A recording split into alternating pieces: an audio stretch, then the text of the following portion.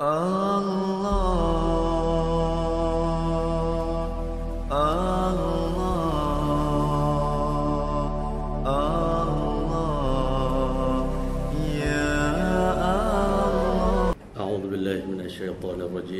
الله الرحمن الرحيم. إن الحمد لله الحمد لله نحمده ونستعينه ونستغفره ونؤمن به ونتوكل عليه. ونعوذ بالله من شرور أنفسنا ومن سيئات أعمالنا. من يهده الله فلا مضل له ومن يضل فلا هادي له. أشهد أن لا إله إلا الله وحده لا شريك له وأشهد أن محمدا عبده ورسوله. أما بعد لقد قال الله تبارك وتعالى في القرآن المجيد بعد أعوذ بالله من الشيطان الرجيم. بسم الله الرحمن الرحيم. سبحان الذي أسرى بعبده ليلا من المسجد الحرام إلى المسجد الأقصى الذي باركنا حوله لنريه من آياتنا إنه هو السميع البصير.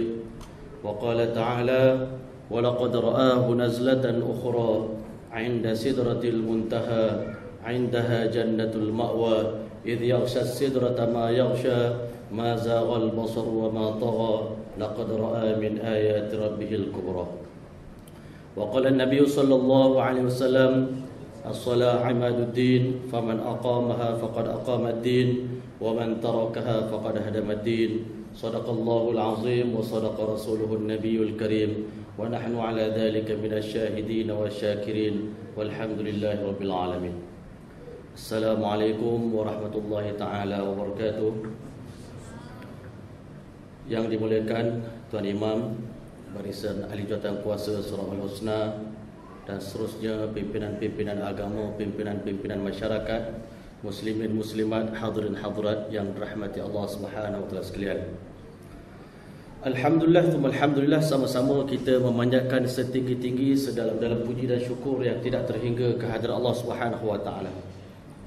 Kerana sesungguhnya dengan limpah dan rahimnya maka Allah Subhanahu wa taala telah mentakdirkan untuk memanjangkan usia kita sekali lagi pada tahun ini sehingga kita berkesempatan berpeluang untuk kita berada di dalam bulan yang paling mulia di sisi Allah Subhanahu wa taala.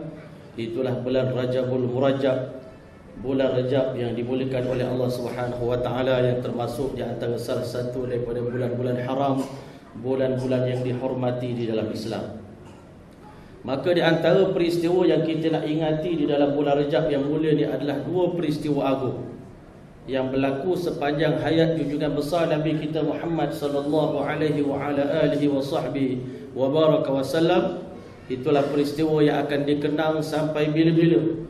Sampai kiamat akan sentiasa ada umat akan mengenang segala pengorbanan jasa Nabi kita Muhammad sallallahu alaihi wasallam kerana sesungguhnya peristiwa Isra dan Mi'raj adalah merupakan hadiah yang paling mulia hadiah yang paling agung yang pernah diberikan kepada Nabi kita Muhammad sallallahu alaihi wasallam sewaktu baginda berada di atas muka bumi ini berkat pengorbanan yang tidak henti yang Nabi sallallahu alaihi wasallam telah lakukan untuk Allah Subhanahu wa taala.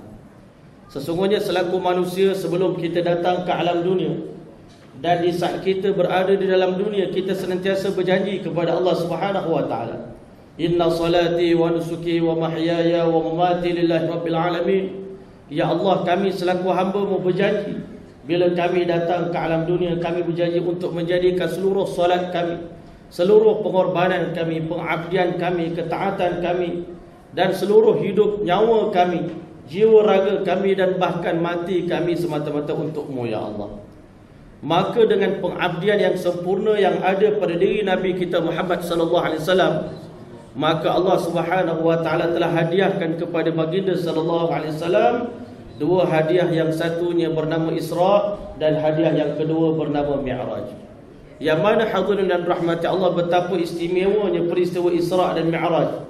Kita selaku umat walaupun pada malam tersebut kita tidak berkesempatan untuk bersama dengan Nabi kita Muhammad sallallahu alaihi wasallam menjelajahi mengembara satu pengembaraan yang sangat hebat yang mana ulama mengatakan pengembaraan malam tersebut adalah pengembaraan rohani yang akan meningkatkan keimanan meningkatkan lagi keyakinan dalam hati Nabi kita Muhammad sallallahu alaihi wasallam.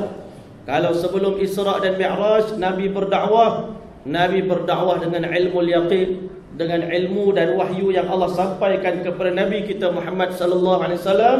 Nabi tak pernah tengok apa yang ada di alam akhirat, gambaran-gambaran yang begitu mengkagumkan, gambaran-gambaran yang menakutkan. Tetapi setelah berlakunya Isra Mi'raj, dakwah Nabi sallallahu alaihi wasallam menjadi ainul yaqin dan haqqul yaqin sehingga Nabi sallallahu alaihi wasallam nanti balik beritahu kepada kita semua wallahi demi Allah wahai umat aku inni a'lamu ma la ta'lamun. Aku tahu perkara yang kamu semua tidak ketahui.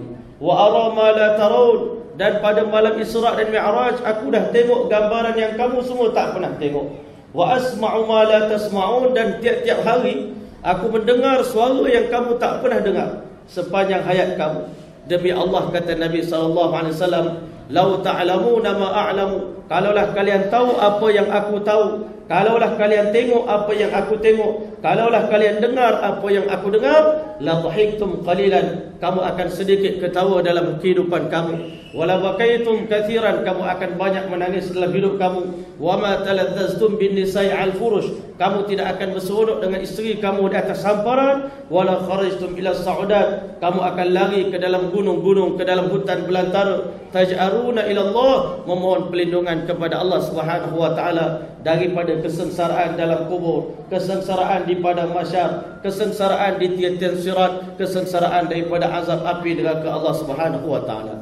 Kerana sesungguhnya ulama mengatakan pada malam Isra dan Mi'raj Nabi SAW telah dibawa mengembara daripada satu alam ke satu alam Daripada alam yang dinamakan alam musyahadah Alam yang kita boleh lihat dengan mata kepala kita Alam yang nyata Maka dibawa pada malam tersebut mengembara ke satu alam yang dinamakan sebagai alam ghaib Yang mana Allah Subhanahu Wa Taala beritahu tentang diri dia alimul ghaibi wa syahadah Allah Ta'ala adalah merupakan Tuhan yang mengetahui segala benda yang nyata dan benda yang tersembunyi.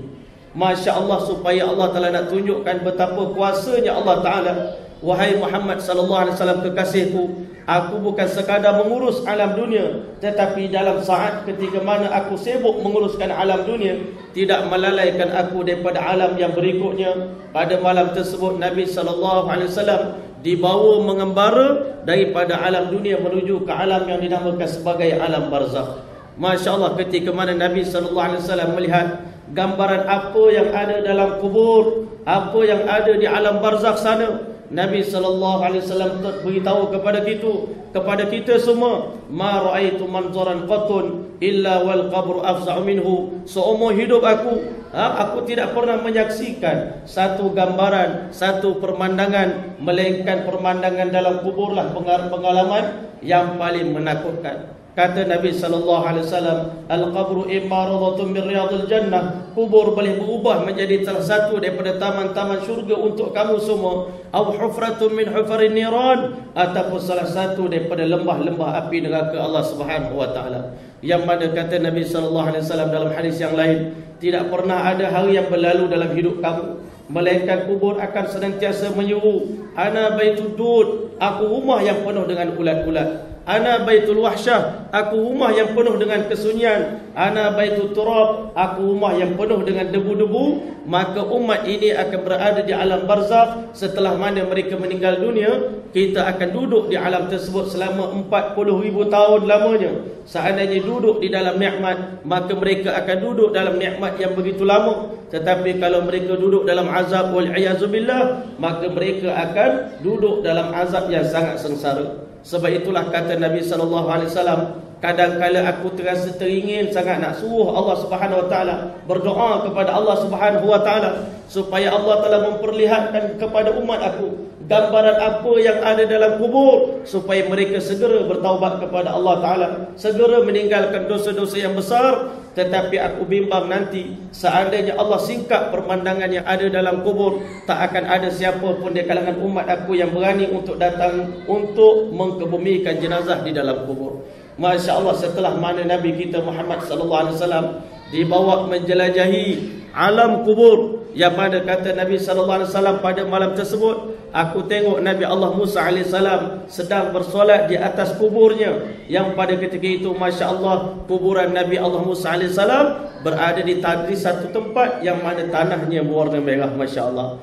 Dan setelah mana Allah bawa Nabi kita Muhammad sallallahu alaihi wasallam mengembara daripada alam kubur alam barzakh dibawa pula Nabi kita Muhammad sallallahu alaihi wasallam kerana janji Allah pada malaikat pada nabi kita Muhammad sallallahu alaihi wasallam janji Allah dalam Quran linuriyahu min ayatina pada malam tersebut kami nak tunjukkan kepada Muhammad sallallahu alaihi wasallam tanda-tanda kehebatan kami tanda-tanda kekuasaan kami. masya-Allah nabi sallallahu alaihi wasallam dibawa meninjau apa yang ada di alam malakut alam para-para malaikat.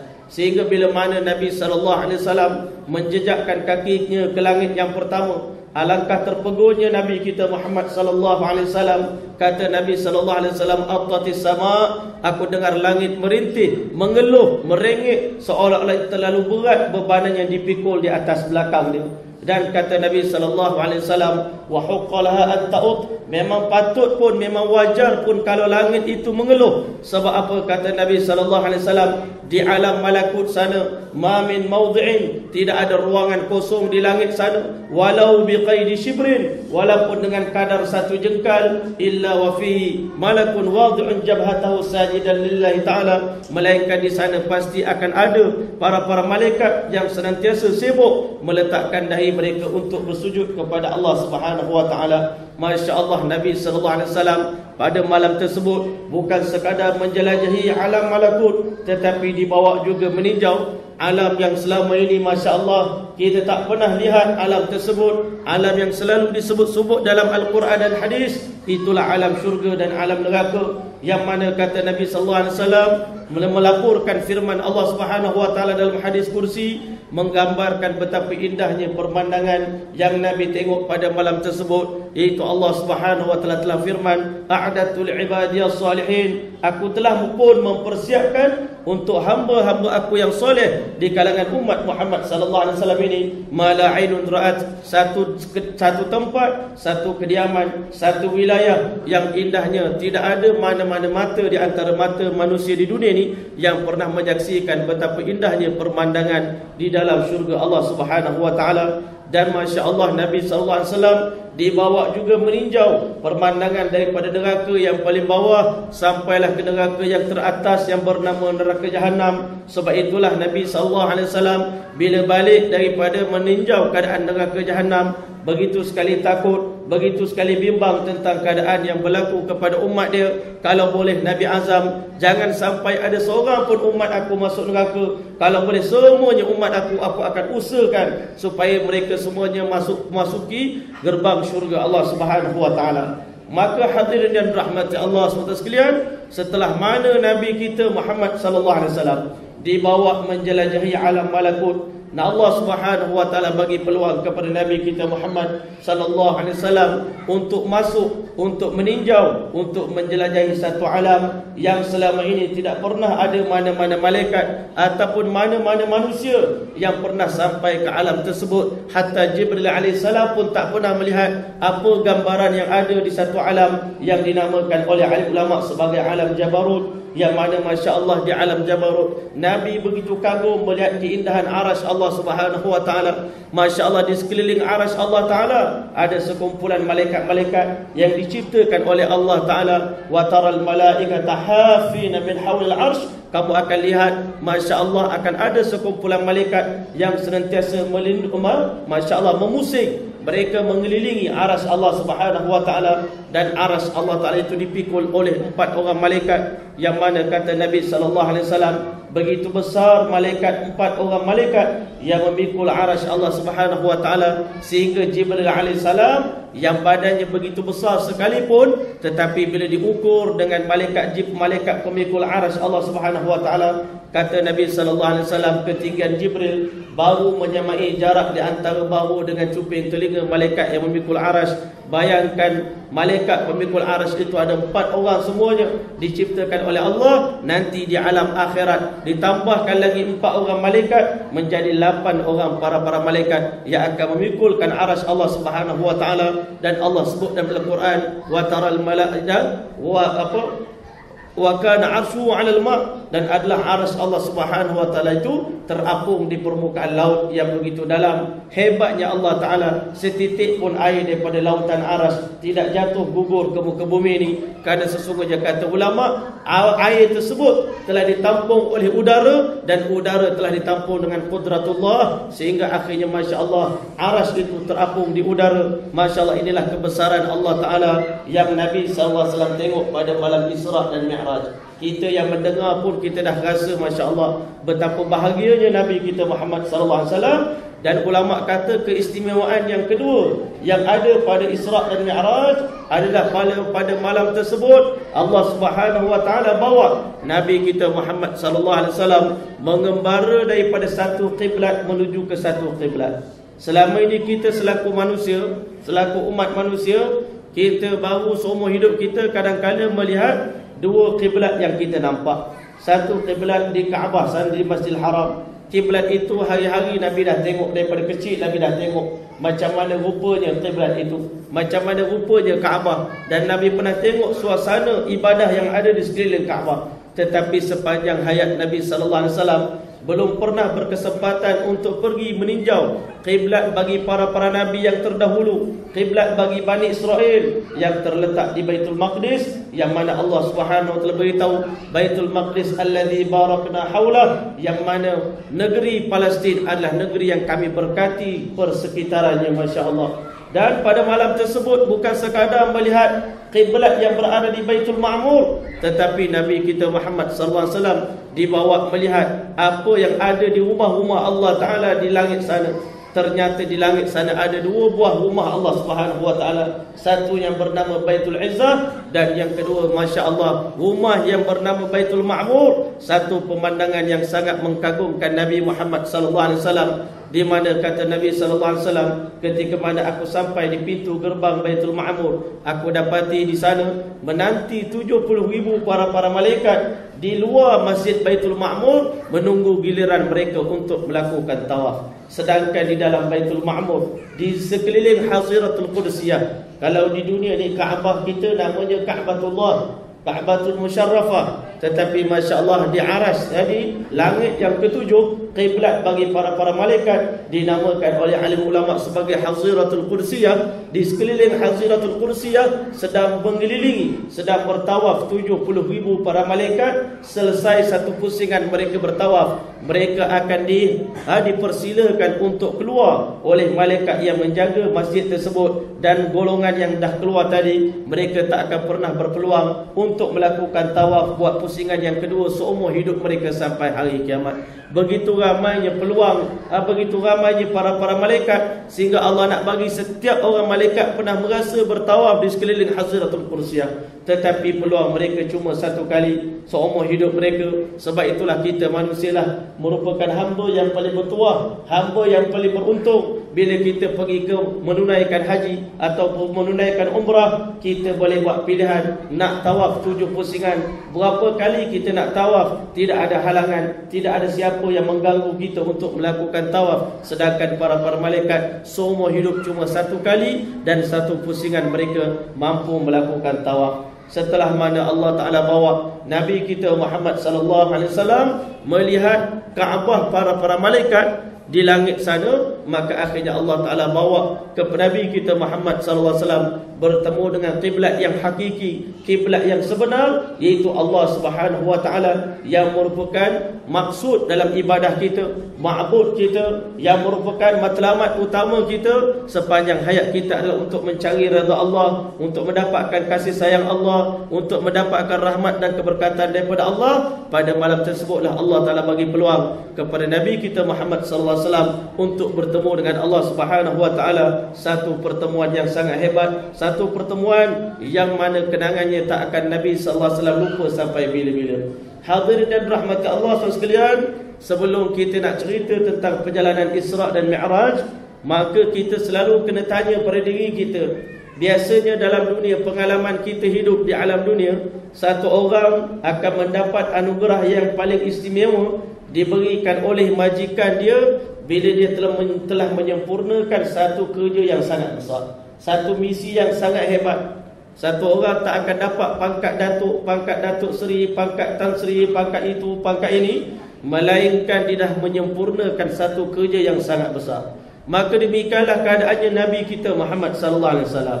Kerana sesungguhnya sebelum peristiwa Isra dan Mi'raj ketika mana Allah Taala lantik Nabi kita Muhammad sallallahu alaihi wasallam menjadi rasul 10 tahun sebelum Isra Mi'raj berlaku Nabi telah menyempurnakan segala keinginan Allah Ta'ala Segala kehendak Allah Ta'ala Dan telah menyempurnakan perintah Allah Subhanahu Wa Ta'ala ke atas diri dia Ketika mana usia Nabi telah masuk umur 40 tahun Maka di kali itu Allah Ta'ala telah bagi nubuah dan risalah kepada Nabi kita Muhammad Sallallahu Alaihi Wasallam. Maka bila mana Nabi terima risalah ini Nabi Wasallam telah beritahu kepada isteri dan anak dia.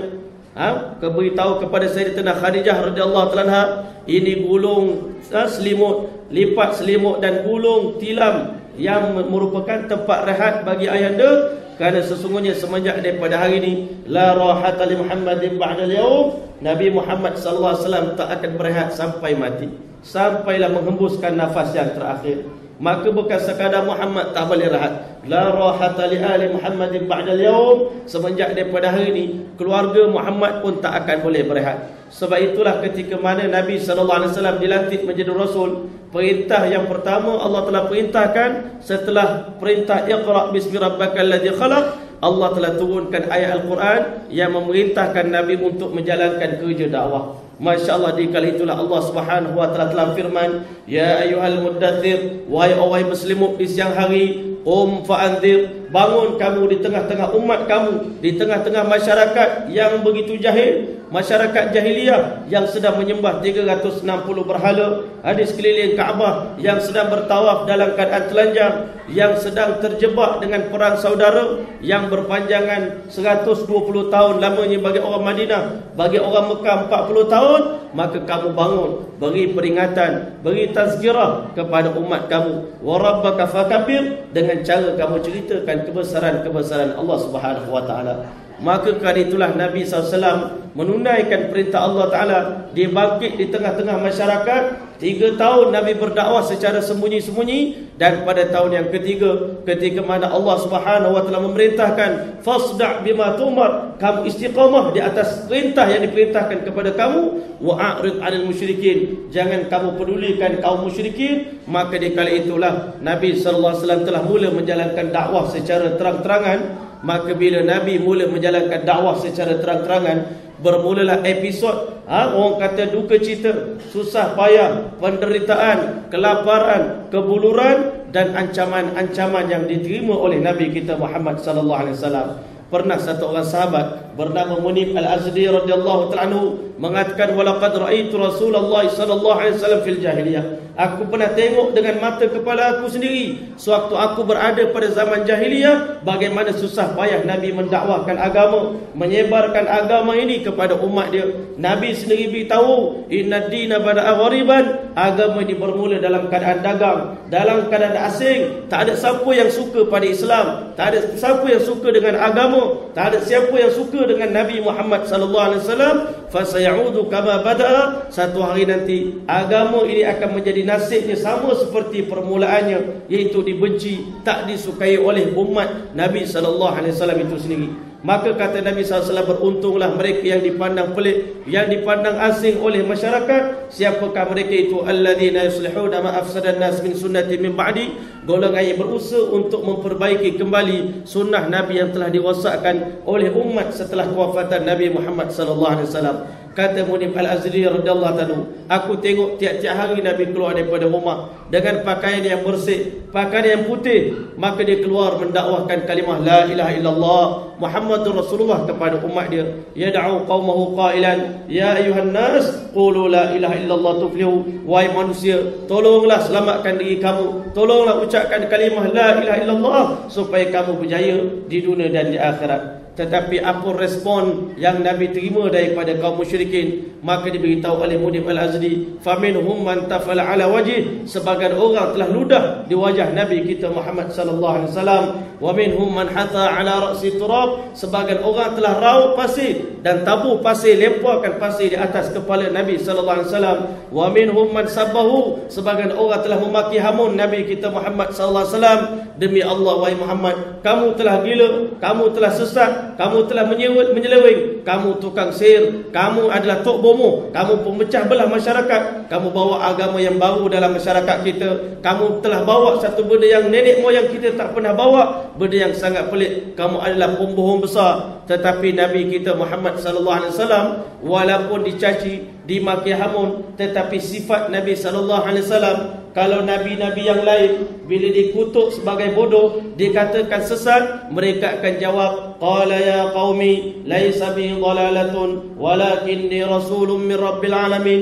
Wahai kaumku kata Nabi Saleh, laisa bi dhalalatun, aku tak sesat, walakinni rasulun min rabbil alamin, tetapi aku adalah salah seorang di antara rasul rabbul alamin. Tetapi Nabi Muhammad sallallahu alaihi wasallam dalam banyak-banyak nabi hanya Rasulullah sallallahu alaihi wasallam saja yang tidak menjawab segala tuduhan, segala fitnah, segala kritikan yang dilemparkan kepada dia. Tetapi walaupun nabi tidak jawab, tetapi Allah Subhanahu wa taala yang sangat-sangat mengasihi Rasulullah sallallahu alaihi wasallam, maka Allah sendiri akan jawab dalam Al-Quran. Allah berfirman Nun wal qalami wa ma yasturun ma anta bi ni'mati rabbika bimajnun. Dengan nikmat Tuhan kamu kamu tak gila wahai kekasihku. Wan najmi idza hawa ma dhalla sahibukum wa ma ghawa. Sahabat kamu ini tidak sesat dan tidak menyeleweng. Allah taala mempertahankan nabi kita Muhammad sallallahu alaihi wasallam Maka bila kaum musyrikin tengok dengan kita mengejek dia, dengan kita mengutuk dia, ternyata Nabi Muhammad bukan berhenti berdakwah, tetapi masya-Allah semakin bersemangat untuk berdakwah, akhirnya mereka buat keputusan kita kena sakiti tubuh badan Muhammad sallallahu alaihi wasallam. Akhirnya Masya Allah Ada orang taburkan duri-duri di tengah jalan Supaya luka kaki Nabi Muhammad SAW Ada orang balik batu kepada Nabi Muhammad SAW Nabi diusir, dihalau Daripada rumah ke rumah Daripada pintu ke pintu. Tiap-tiap kali Nabi berdakwah Abu Lahab akan berdiri di belakang. Kamu tak kenal ini siapa? Ini anak saudara aku Dia dah gila Kamu jangan ikut dia. Ini perkara yang halangan cabaran yang paling besar Yang dialami oleh Nabi Muhammad SAW Sehingga pernah satu kali Nabi sedang bersolat ha, di depan Kaabah maka di kali itu Abu Jahal telah datang dengan sombongnya. Beritahu kepada kaum musyrikin siapa di kalangan tuan-tuan yang berani untuk buat satu kerja yang hebat pada hari ini. Pergilah kamu ke tempat orang kata sampah bagi Bani Fulan kamu ambil perut unta maka kamu lemparkan ke atas kepala Muhammad sallallahu alaihi wasallam. Di waktu itu masya-Allah bila dicampakkan ke atas kepala Rasulullah Nabi yang sedang bersujud tak mampu mengangkatkan kepala dia. Datang Fatimah radhiyallahu anha tolong alihkan perut tersebut sampai hati kamu semua menyakiti ayah aku. Apa kesilapan dia? Apa kesalahan dia terhadap kamu? masya-Allah ini orang kata penderitaan yang dialami oleh Nabi Muhammad sallallahu alaihi wasallam. Bila Nabi balik ke rumah dia waktu tengah hari akan datang satu budak perempuan yang sangat-sangat putih wajahnya. Itulah Zainab binti Rasulullah sallallahu alaihi wasallam dia akan ambil besen letakkan tangan Nabi dalam besen tersebut basuhkan kedua tangan Nabi basuhkan muka Nabi sallallahu alaihi wasallam. Wahai ayahanda berhentilah daripada berdakwah. Masyarakat kita tak suka kerja yang ayahanda buat. Maka di kali itu Nabi sallallahu alaihi wasallam pandang Zainab. Nabi sallallahu alaihi wasallam telah beritahu ya bunayyah wahai anak perempuan kesayangan denganku la takhsha ala abika ghilatan.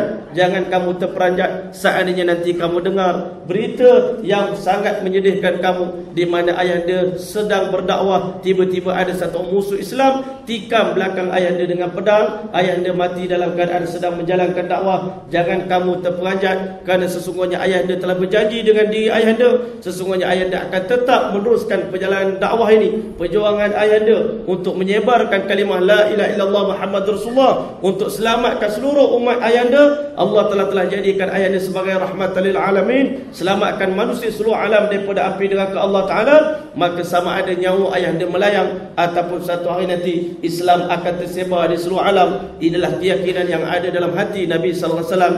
Nabi beritahu kepada para para sahabat la yutimmanna Allah taala hadzal amr satu hari nanti Allah telah pasti akan sempurnakan agama ini. Hatta la yabqa baitu madarin wala waba. Sehingga tak akan tinggal satu rumah pun dalam dunia ini yang diperbuat daripada batu ataupun daripada kayu di kampung ataupun di bandar. Illa ayyudkhila Allah subhanahu wa taala binuril Islam melainkan nur Islam pasti akan masuk ke dalamnya bi'izzi azizin atau bidulli dalil maka masya-Allah sama ada mereka terima Islam dalam keadaan sukarela ataupun dalam keadaan terpaksa bila mana kaum musyrikin tengok lagi kita seksa, lagi bersemangat Muhammad sallallahu alaihi wasallam, akhirnya mereka buat keputusan kita kena bagi ancaman bunuh kepada Muhammad sallallahu alaihi wasallam. Selalunya masya-Allah pendakwah-pendakwah Masya Allah kuat sangat melawan dengan syiah Kuat sangat lawan dengan musuh-musuh ini Maka lama-lama dia orang hantar dua biji peluru kat rumah kita. Maka akhirnya kita pun berhenti berdakwah. Sebab kita rasa ini dah bahaya mengancam nyawa kita. Tetapi tuan-tuan rahmat Allah Nabi Muhammad sallallahu alaihi wasallam diberi ancaman bunuh sehingga kaum musyrikin datang ke rumah Abu Talib. Yang mana mengatakan wahai Abu Talib kami minta supaya kamu nasihat anak saudara kamu. Kalau tidak kami terpaksa bunuh dia. Wahai Abu Talib kalau kamu sudi kamu ambil anak kami yang paling kamu suka yang paling handsome kamu jadikan sebagai anak angkat kamu dan kamu serahkan Muhammad SAW untuk kami penggal leher dia untuk menyelesaikan masalah yang sedang berlaku dalam masyarakat pada hari ini Maka kata Abu Talib tak mungkin. Aku bela anak kamu. Aku serahkan anak aku kepada kamu untuk kamu pancung. Tak akan berlaku. Akhirnya kata kaum musyrikin Kalau begitu Bersedialah kamu wahai Abu Talib Menerima pemboikotan Daripada seluruh kaum Quraisy Daripada seluruh bangsa Arab. Kamu akan di pulau di lembah Abi Talib. Maka di lembah itulah Selama tiga tahun lamanya Nabi SAW telah menanggung penderitaan yang teramat-amat sangat satu penderitaan yang sangat dahsyat. Nabi SAW beritahu kepada kita tentang bagaimana susahnya Nabi SAW. Nabi SAW beritahu, Laqad ukhiftu fillah ma lam yukhaf ahadan. Aku telah ditakuti dalam berdakwah ini menyebarkan kalimah la ilaha illallah dengan ketakutan yang tak pernah dialami oleh sesiapa pun. Laqad udhitu fillah. Aku telah menderita kerana agama Allah ma lam yu'zi ahadan dengan penderitaan yang tak pernah dialami oleh sesiapa pun. Kata Nabi SAW, Walaqad laqad atat alayya 30 yawman wa lailatan pernah datang dalam hidup saya 30 hari 30 malam. Mali wali bilalin ta'amun. Saya dengan bilal tidak ada apa-apa makanan untuk kami makan dalam hidup kami illa ta'amun yuwari bitu bilal melainkan sejemput makanan yang bilal kepit di celah ketiak dia.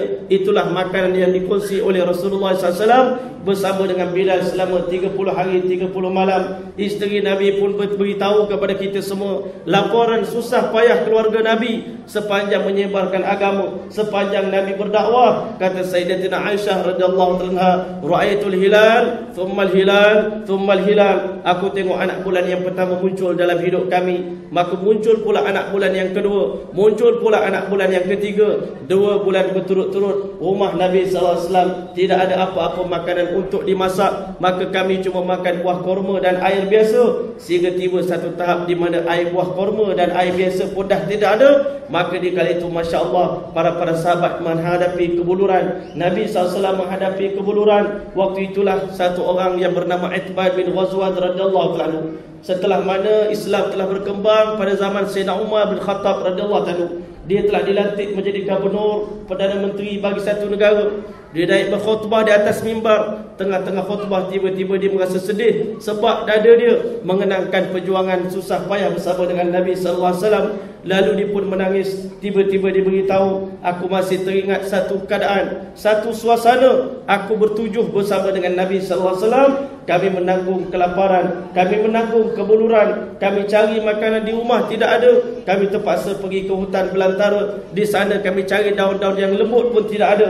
Yang ada adalah daun kayu yang telah mati yang dah kering daun tadi kami gumpal-gumpal, kami siram dengan air, lalu kami pujah daun tersebut hatta qarihat ashdaquna tetapi malangnya daun tersebut begitu kasar menyebabkan gusi kami, tekak kami telah luka. Itulah makanan Nabi sallallahu alaihi wasallam dan para-para sahabat selama tiga tahun lamanya mereka makan makanan seperti itu sehingga sahabat Nabi SAW beritahu najis kami pun jadi macam najis kambing tidak seperti najis manusia kerana yang kami makan adalah daun-daun kayu. Maka hadirin yang rahmati Allah sekalian disingkatkan ceritanya setelah genap tiga tahun lamanya Nabi SAW di pulau diboikot oleh kaum musyrikin. Tak dibenarkan sesiapa pun di kalangan kamu melakukan jual beli dengan umat Islam. Tak boleh senyum dengan umat Islam. Tak boleh bercakap dengan umat Islam. Tak boleh bagi salam kepada mereka. Sedangkan kalau kita pergi ke lembah Abi Talib dekat dengan Jabal Abi Qubais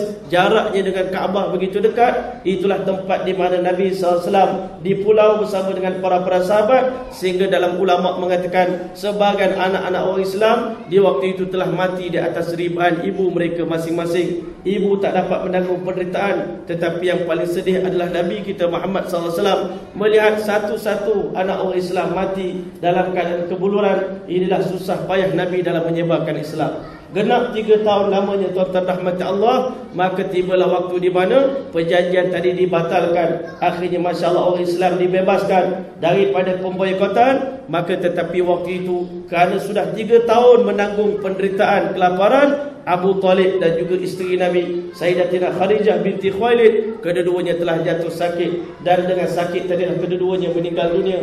Inilah tahun yang merupakan tahun duka cita bagi Nabi Muhammad sallallahu alaihi wasallam. Tahun itu dipanggil Amul Huzun tahun keduka citaan bagi Nabi Muhammad sallallahu alaihi wasallam kerana sesungguhnya selepas Nabi diboikot selama tiga tahun, tiba-tiba Masya Allah, ujian yang pertama yang menanti Nabi Muhammad SAW belum habis satu ujian, datang pula ujian yang kedua, iaitu kematian Abu Talib, bapa saudara yang paling Nabi kasih, yang paling Nabi sayang dalam hidup dia. Kerana sesungguhnya Nabi tak pernah melihat wajah ayah dia sendiri, tetapi seumur hidup Nabi SAW cuma hanya sempat duduk di bawah jagaan Abu Talib.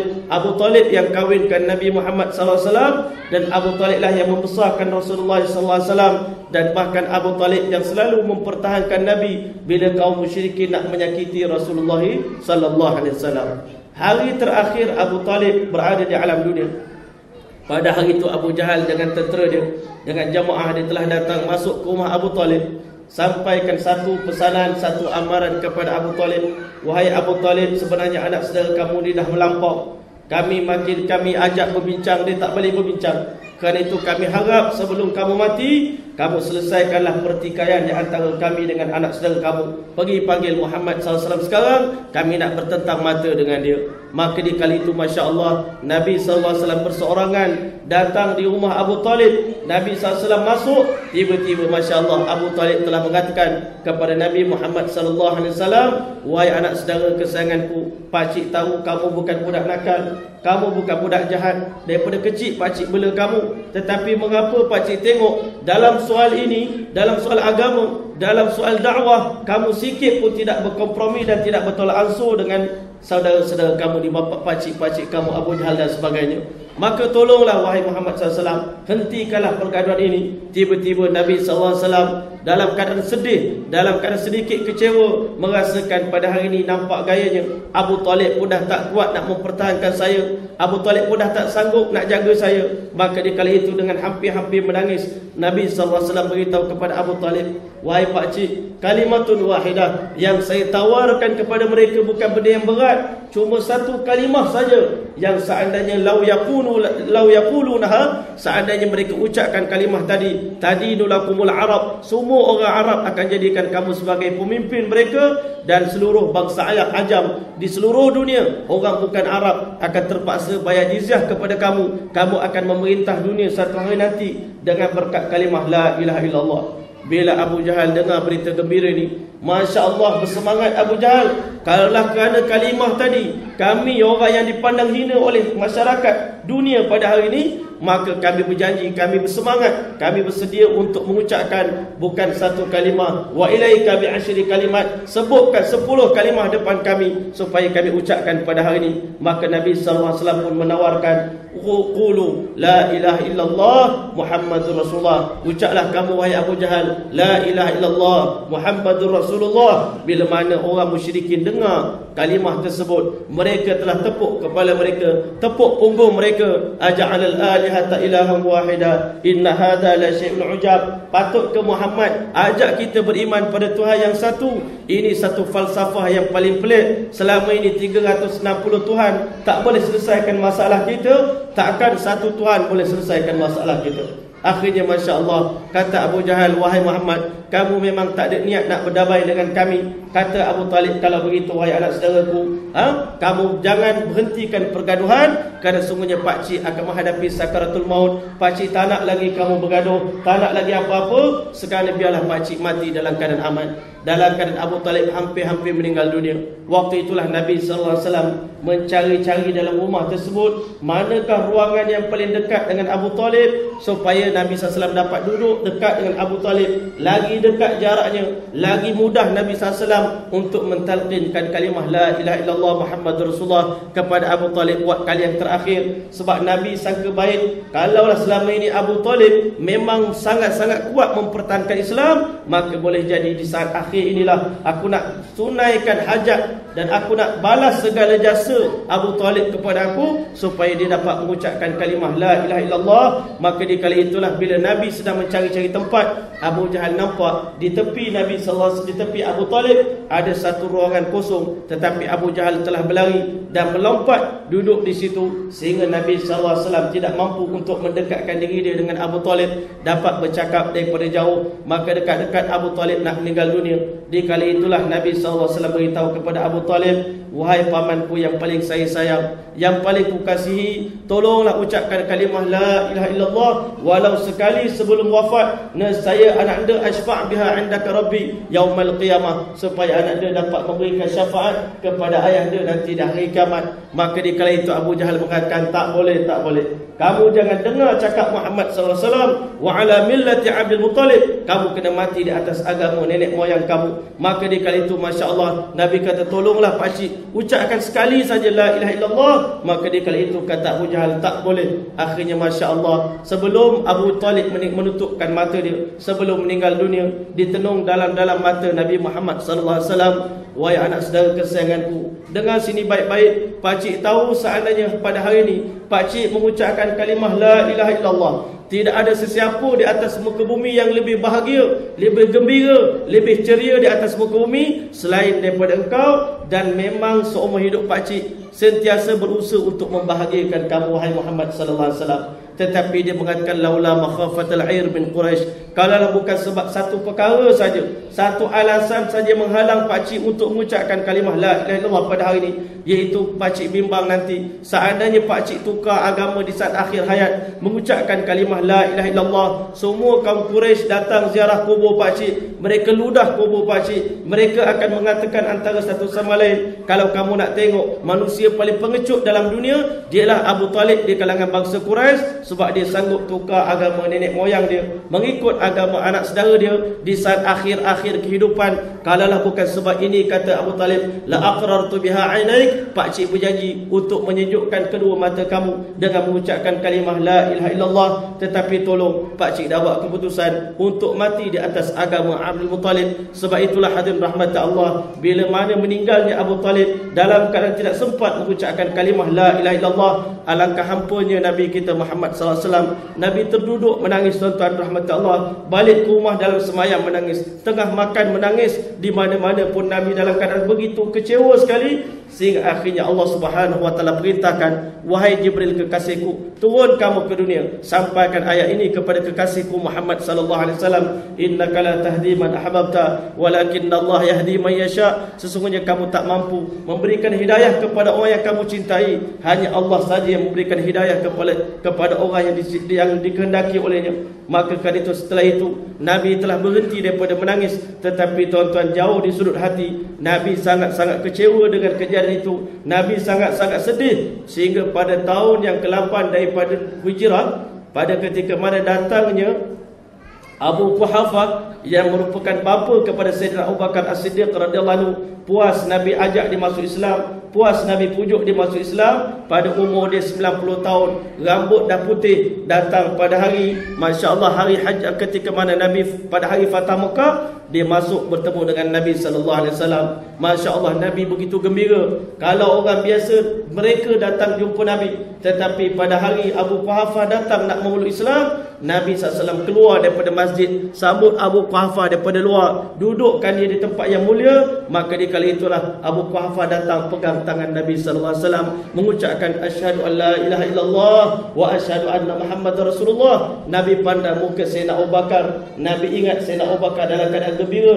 Tiba-tiba mengalir air mata di kelopak mata Sayyidina Abu Bakar As-Siddiq radhiyallahu Wahai Abu Bakar Mengapa kamu menangis pada hari bahagia Pada hari gembira? Maka kata Sayyidina Abu Bakar As-Siddiq Siddiq radhiyallahu anhu demi Allah ya Rasulullah aku mengharapkan seandainya pada hari ini alangkah bertuahnya seandainya pada hari dia memegang tangan tuan bukanlah bapa saya tetapi adalah pak cik tuan Abu Talib yang memegang tangan tuan mengucapkan asyhadu alla ilaha illallah wa asyhadu anna muhammadar rasulullah. Sesungguhnya keislaman bapa saya menggembirakan saya tetapi keislaman bapa saudara tuan akan membahagiakan hidup tuan itulah keinginan kami para para sahabat hidup kami untuk membahagiakan tuan-tuan sebab itulah dapat dibayangkan betapa kesedihan Nabi sallallahu alaihi wasallam pada tahun yang ke-10 maka dikatakan dalam sirah disebutkan dalam kitab sirah 15 hari selepas kematian Abu Talib Allah Taala buat keputusan untuk memanggil pula Sayyidatina Khadijah untuk kembali ke rahmatullah. Belum habis lagi kesedihan yang pertama.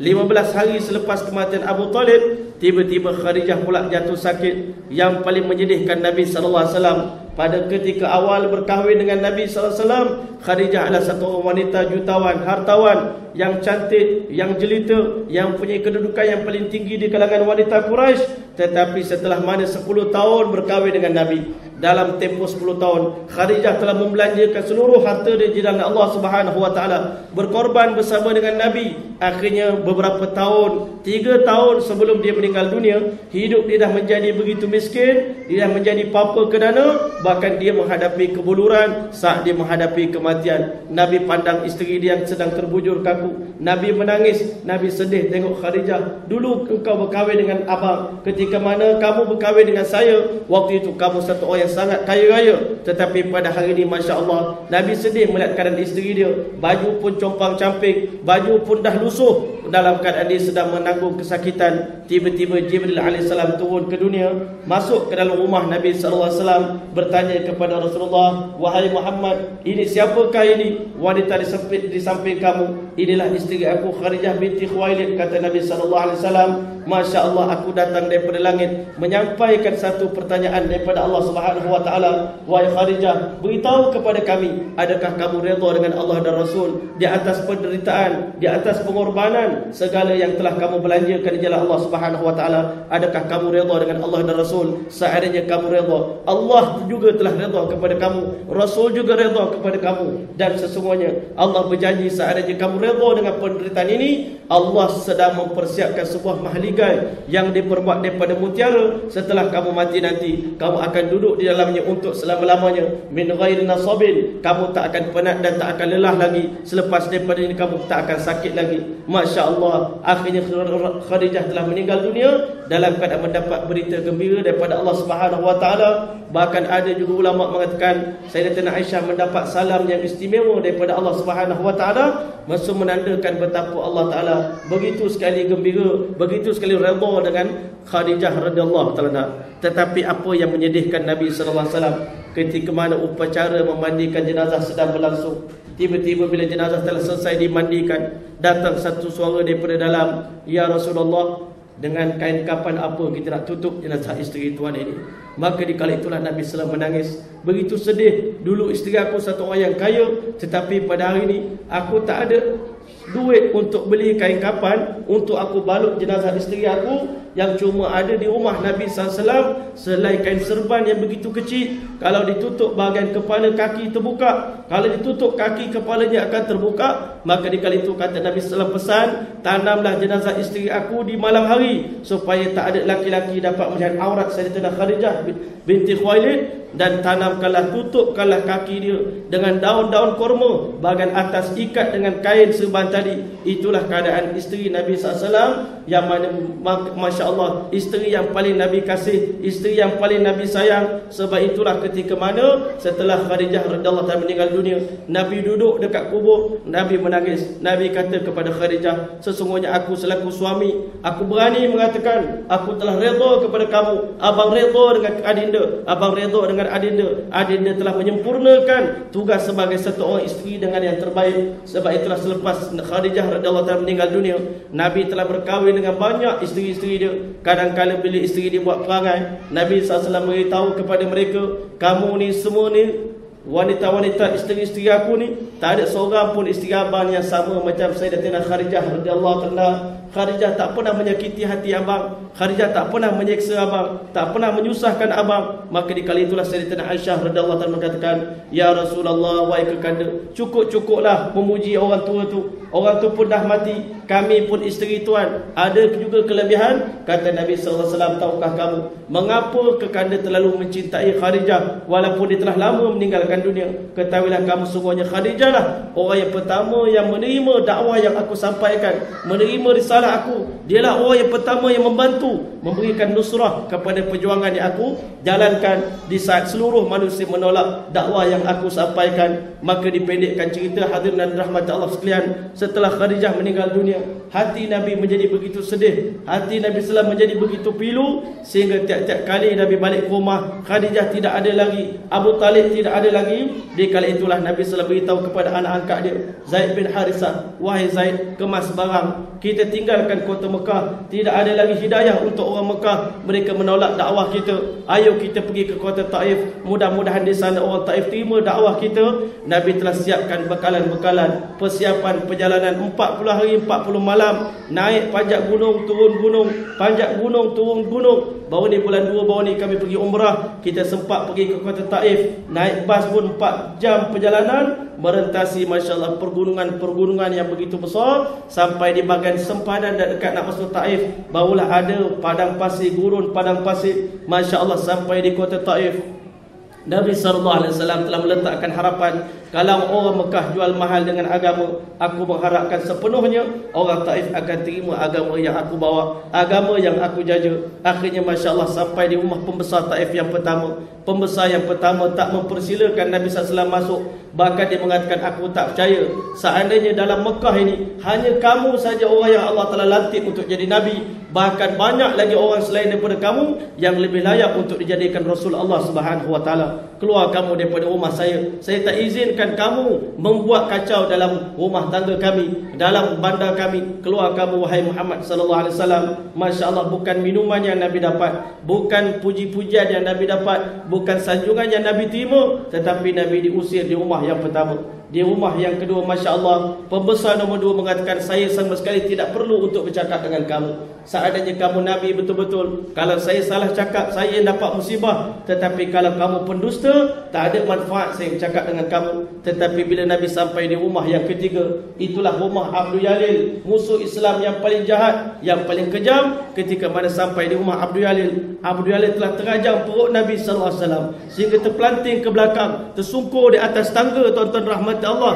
Sehingga ditanya oleh Sayyidatina Aisyah radhiyallahu anha apakah hari yang paling berat? Sepanjang tuan menjalankan kerja dakwah diberitahu adalah hari ketika mana aku berdakwah kepada Abu Yalil. Abu Yalil telah tendang aku. Aku tercampak jauh ke belakang. Aku tersungkur di atas tangga sehingga aku tak sedarkan diri. Apa yang telah terjadi kepada aku aku menjadi begitu sedih. Aku berjalan terhoyong-hoyang aku tak tahu ke mana lagi aku nak pergi. Sehingga akhirnya masya-Allah setelah Nabi SAW sedarkan diri Nabi telah boleh boleh kontrol kesedihan Nabi Islam tak putus asa.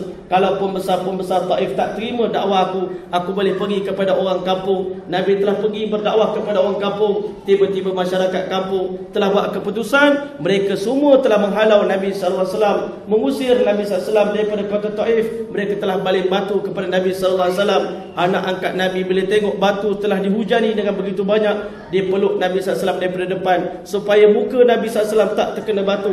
Tetapi batu yang begitu banyak datang daripada berbagai-bagai arah telah menyebabkan tubuh badan Nabi telah dihujani dengan sebanyak-banyak batu. Badan Nabi telah dilukai, Nabi telah tercedera daripada kepala sampai ke kaki. Di waktu itu masya-Allah darah telah mula mengalir di tubuh badan Nabi sallallahu alaihi wasallam. Sehingga ulama mengatakan darah telah mula memenuhi tapak kasut Nabi SAW Seandainya pada hari tersebut Setitik darah tadi jatuh ke muka bumi. Di saat itu juga Allah telah akan kiamatkan dunia ini Masya Allah di kali itulah Nabi SAW Berjalan akhirnya meninggalkan kota Taif Berjalan menuju ke satu tempat Iaitu kebun kepunyaan musuh Islam Yang bernama Utbah bin Rabi'ah. Utbah walaupun dibenci dengan Nabi Diizinkan Muhammad Aku izinkan kamu bermalam dalam kebun aku. Diperintahkan hamba dia bernama Adas Kamu layan Muhammad SAW Ambil air bagi minum pada Rasulullah. Bagi buah-buah makan pada Nabi SAW Muhammad sedang kelaparan. Kamu rawat luka dia dengan air telaga. Alhamdulillah baru ni pun kami sempat minum air telaga tersebut. Masya Allah kebun tempat Utbah bin Rabi'ah sekarang dah bertukar menjadi kebun buah tin buah zaitun dan juga Masya Allah kebun-kebun pudina. Masya Allah ha, tuan-tuan rahmat Allah dalam keadaan Nabi sedang dirawat tiba-tiba akhirnya Masya Allah belum keadaan lapar masih belum hilang. Dahaga masih belum hilang. Kepenatan masih belum hilang. Kedukaan di hati Nabi SAW masih belum hilang. Nabi pun angkat tangan berdoa kepada Allah Ta'ala dengan doa yang sangat-sangat sedih. Dengan soal doa yang sangat-sangat syahdu yang mana ulama mengatakan sesungguhnya inilah doa yang menyebabkan Allah Subhanahu wa taala angkat kekasih dia untuk menuju Isra wal Mi'raj. Nabi sallallahu telah angkat tangan berdoa kepada Allah, "Ilahi wahai Tuhanku, Ilaika ashku du'fa quwwati hanya kepadamu aku adukan kelemahan daya upayaku. Wa qillata hilati. Lemahnya kemahiran aku nak fahamkan umat tentang agama. Aku tak pandai berdakwah kata Nabi sallallahu alaihi wasallam. Wa hawani 'alan nas. Aku dipandang hina oleh umat aku. Ya arhamar rahimin. Wahai tuhan yang maha pengasih di kalangan yang maha pengasih. Anta rabbul mustad'afin. Engkaulah insan yang tertindas seperti aku. Ila man takili. Sekarang aku akan balik semula ke kota Mekah. Setelah diusir setelah diperlakukan diperlakukan dengan begitu hina, begitu kejam sekali di kota Taif ini. Maka aku nak balik ke kota Mekah. Engkau nak serahkan aku ke tangan siapa lagi, wahai Allah? Ke tangan musuh yang akan memenggal kepala aku. Ataupun ila qaribin malak tahu amri. Ataupun kaum kerabat yang telah benci kepada aku. Tak larat nak jaga aku lagi, wahai Allah. Ya Arhamar Rahimin. Maka kata Nabi SAW. Illam takun sakhitan alaiya fala ubali. Selagi engkau tak benci kepada aku. Selagi engkau tak marah kepada aku. Selagi itu aku tak akan pernah peduli apa pun terjadi kepada aku apa pun berlaku kepada aku maka aku tak akan peduli. Maka kata Nabi SAW cuma satu perkara saja aku harapkan daripada ya Allah ghaira anna afiataka us'uli hanya keampunan daripada-Mu kemaafan daripada-Mu yang aku harapkan. Rupanya kata alim ulama saat Nabi di balik batu satu perasaan datang dalam hati Nabi SAW dalam keadaan aku diperlakukan begini mengapa Allah masih belum tolong aku? Apakah Allah telah benci kepada aku ada dosa-dosa yang aku lakukan? Menyebabkan Allah Subhanahu wa taala menyinyiakan aku. Itu perasaan yang ada dalam hati Nabi SAW jangan-jangan Allah sedang murka kepada aku. Dalam keadaan Nabi SAW sedang diperlakukan begitu. Itu sifat Rasulullah SAW tak pernah salahkan orang. Tak pernah menyalahkan orang lain. Selalu muhasabah diri sendiri tuan-tuan rahmat Allah. Sehingga akhirnya Allah Ta'ala yang dalam keadaan begitu sekali simpati terhadap Nabi SAW wahai Jibril turun kamu ke dunia tanya kepada kekasih kami bawa malaikat-malaikat penjaga gunung malaikat-malaikat yang menjaga kawasan tersebut perintahkan kepada mereka. Seandainya Muhammad izinkan untuk dilagakan di antara dua gunung di kota Taif kami akan lagakan sehingga seluruh penduduk Taif akan mati. Tetapi apa kata Nabi SAW bila malaikat bersungguh-sungguh marah kepada orang Taif Nabi SAW mengatakan wahai malaikat Aku tidak izinkan kamu melagakan dua gunung ini. Seandainya ha, Walaupun nenek moyang mereka Menolak dakwah yang aku sampaikan Tetapi hati aku tetap merasakan Meletakkan harapan Satu hari nanti anak cucu mereka Akan beriman kepada Allah Subhanahu Taala Akan terima agama yang aku bawa. Kerana itu aku mengharapkan kamu jangan azab mereka.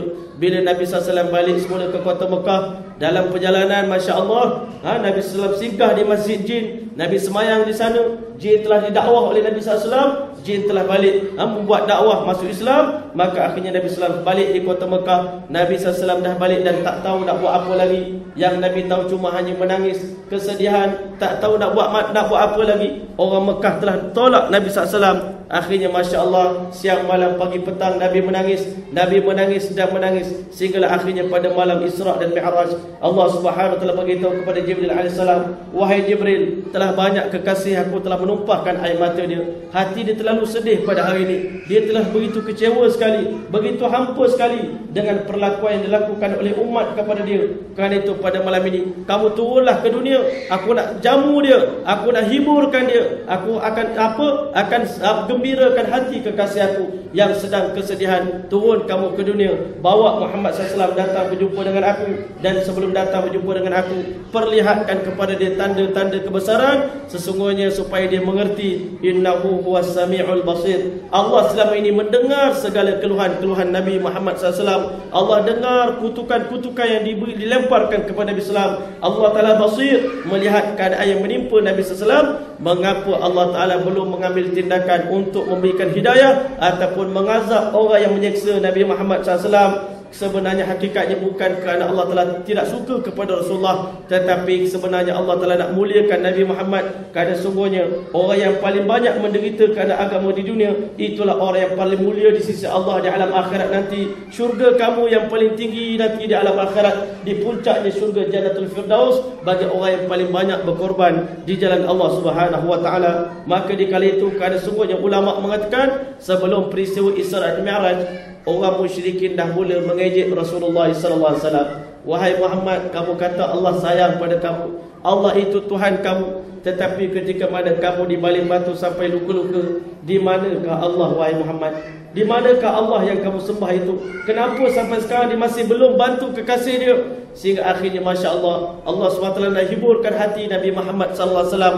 Allah turunkan ayat Quran wadduha wallaili idza saja ma wadda'aka rabbuka wa ma qala. Tuhan kamu tidak pernah tinggalkan kamu dan tak pernah biarkan kamu wahai Muhammad sallallahu alaihi wasallam.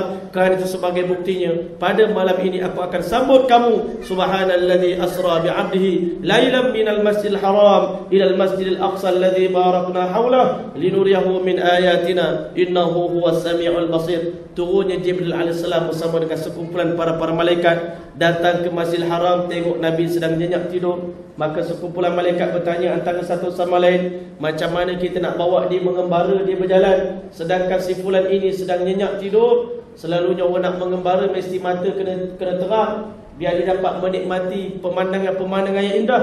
Tetapi Muhammad sedang nyenyak tidur. Jawab satu orang malaikat ya namu ainahu la yanamu qalbu. Mata dia tertutup tetapi hati dia sentiasa risau tentang umat. Hati dia tak pernah terjaga hati dia tak pernah tertidur. Maka di kali itulah Jibril alaihissalam bawa tubuh badan Nabi SAW diletakkan di tepi telaga Zamzam dibukakan baju Nabi SAW dibelah dada Nabi SAW dibasuhkan dikeluarkan segala kotoran-kotoran dan dimasuk dibasuh dengan air zam-zam maka satu malaikat bawa iman dan hikmah dalam satu dulang yang diperbuat daripada emas maka Jibril AS raup iman dan hikmah masukkan dalam dada Nabi Muhammad sallallahu alaihi wasallam.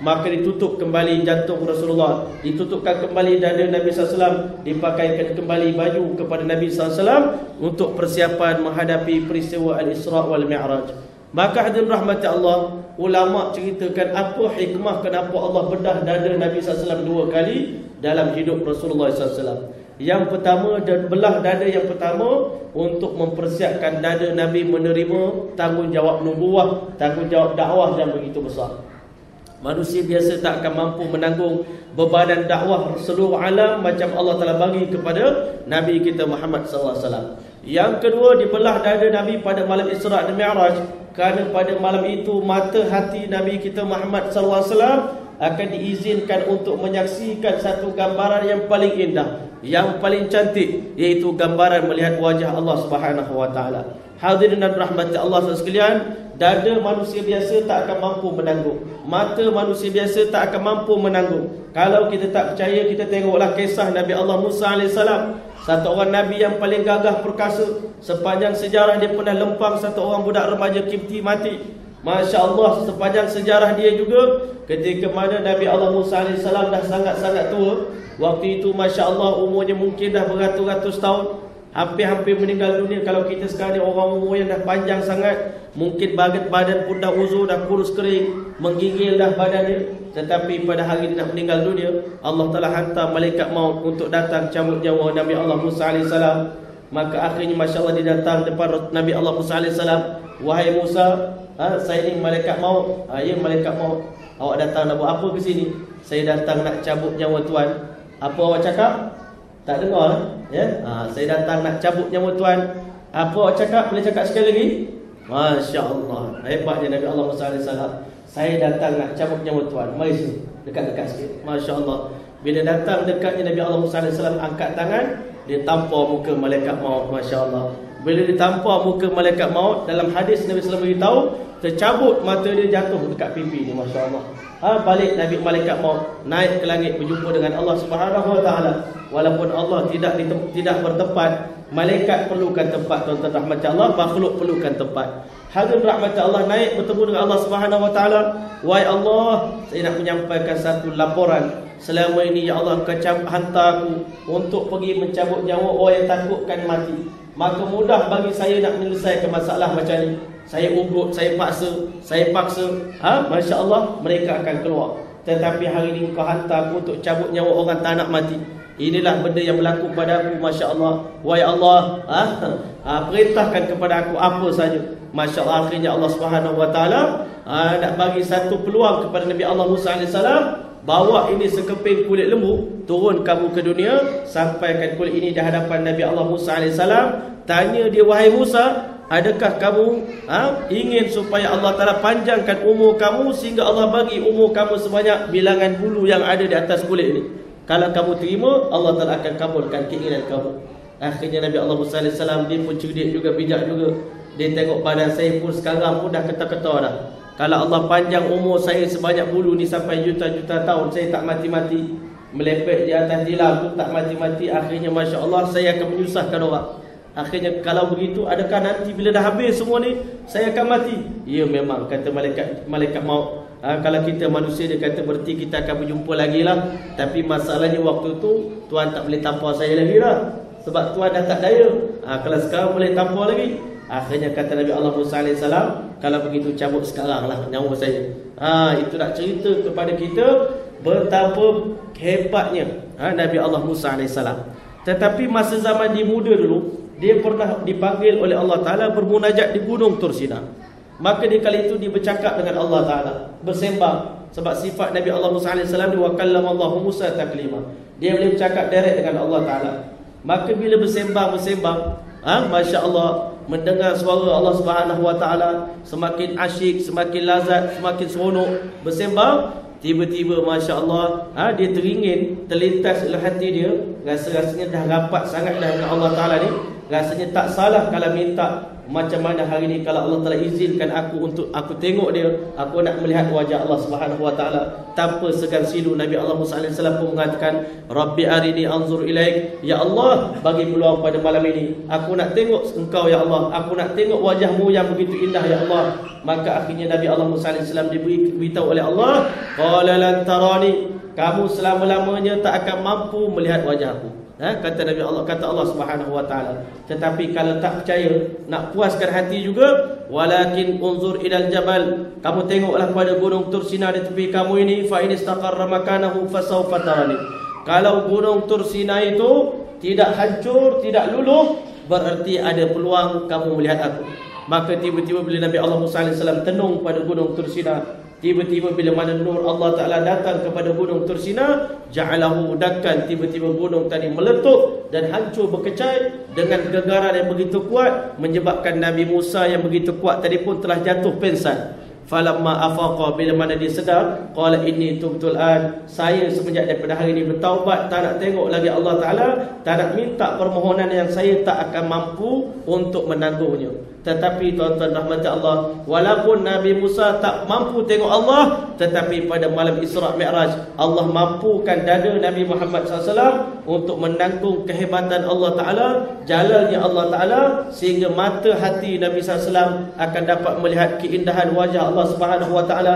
Begitulah juga nanti kita dalam syurga pun akan berpeluang melihat Allah Subhanahu wa taala. Nabi sallallahu alaihi wasallam pernah beritahu dalam sepotong hadis, "Innakum satarawna rabbakum yaumal qiyamah." Kamu akan tengok wajah Tuhan kamu nanti di hari kiamat seumpama kamu menyaksikan ha? begitu jelas pemandangannya seperti kamu menyaksikan bulan purnama di malam hari, tidak ada sedikit pun yang meragukan kamu pada malam tersebut nak ceritakan kepada kita macam mana indahnya wajah Allah Subhanahu Wa Taala yang Nabi tengok pada malam Isra dan Mi'raj.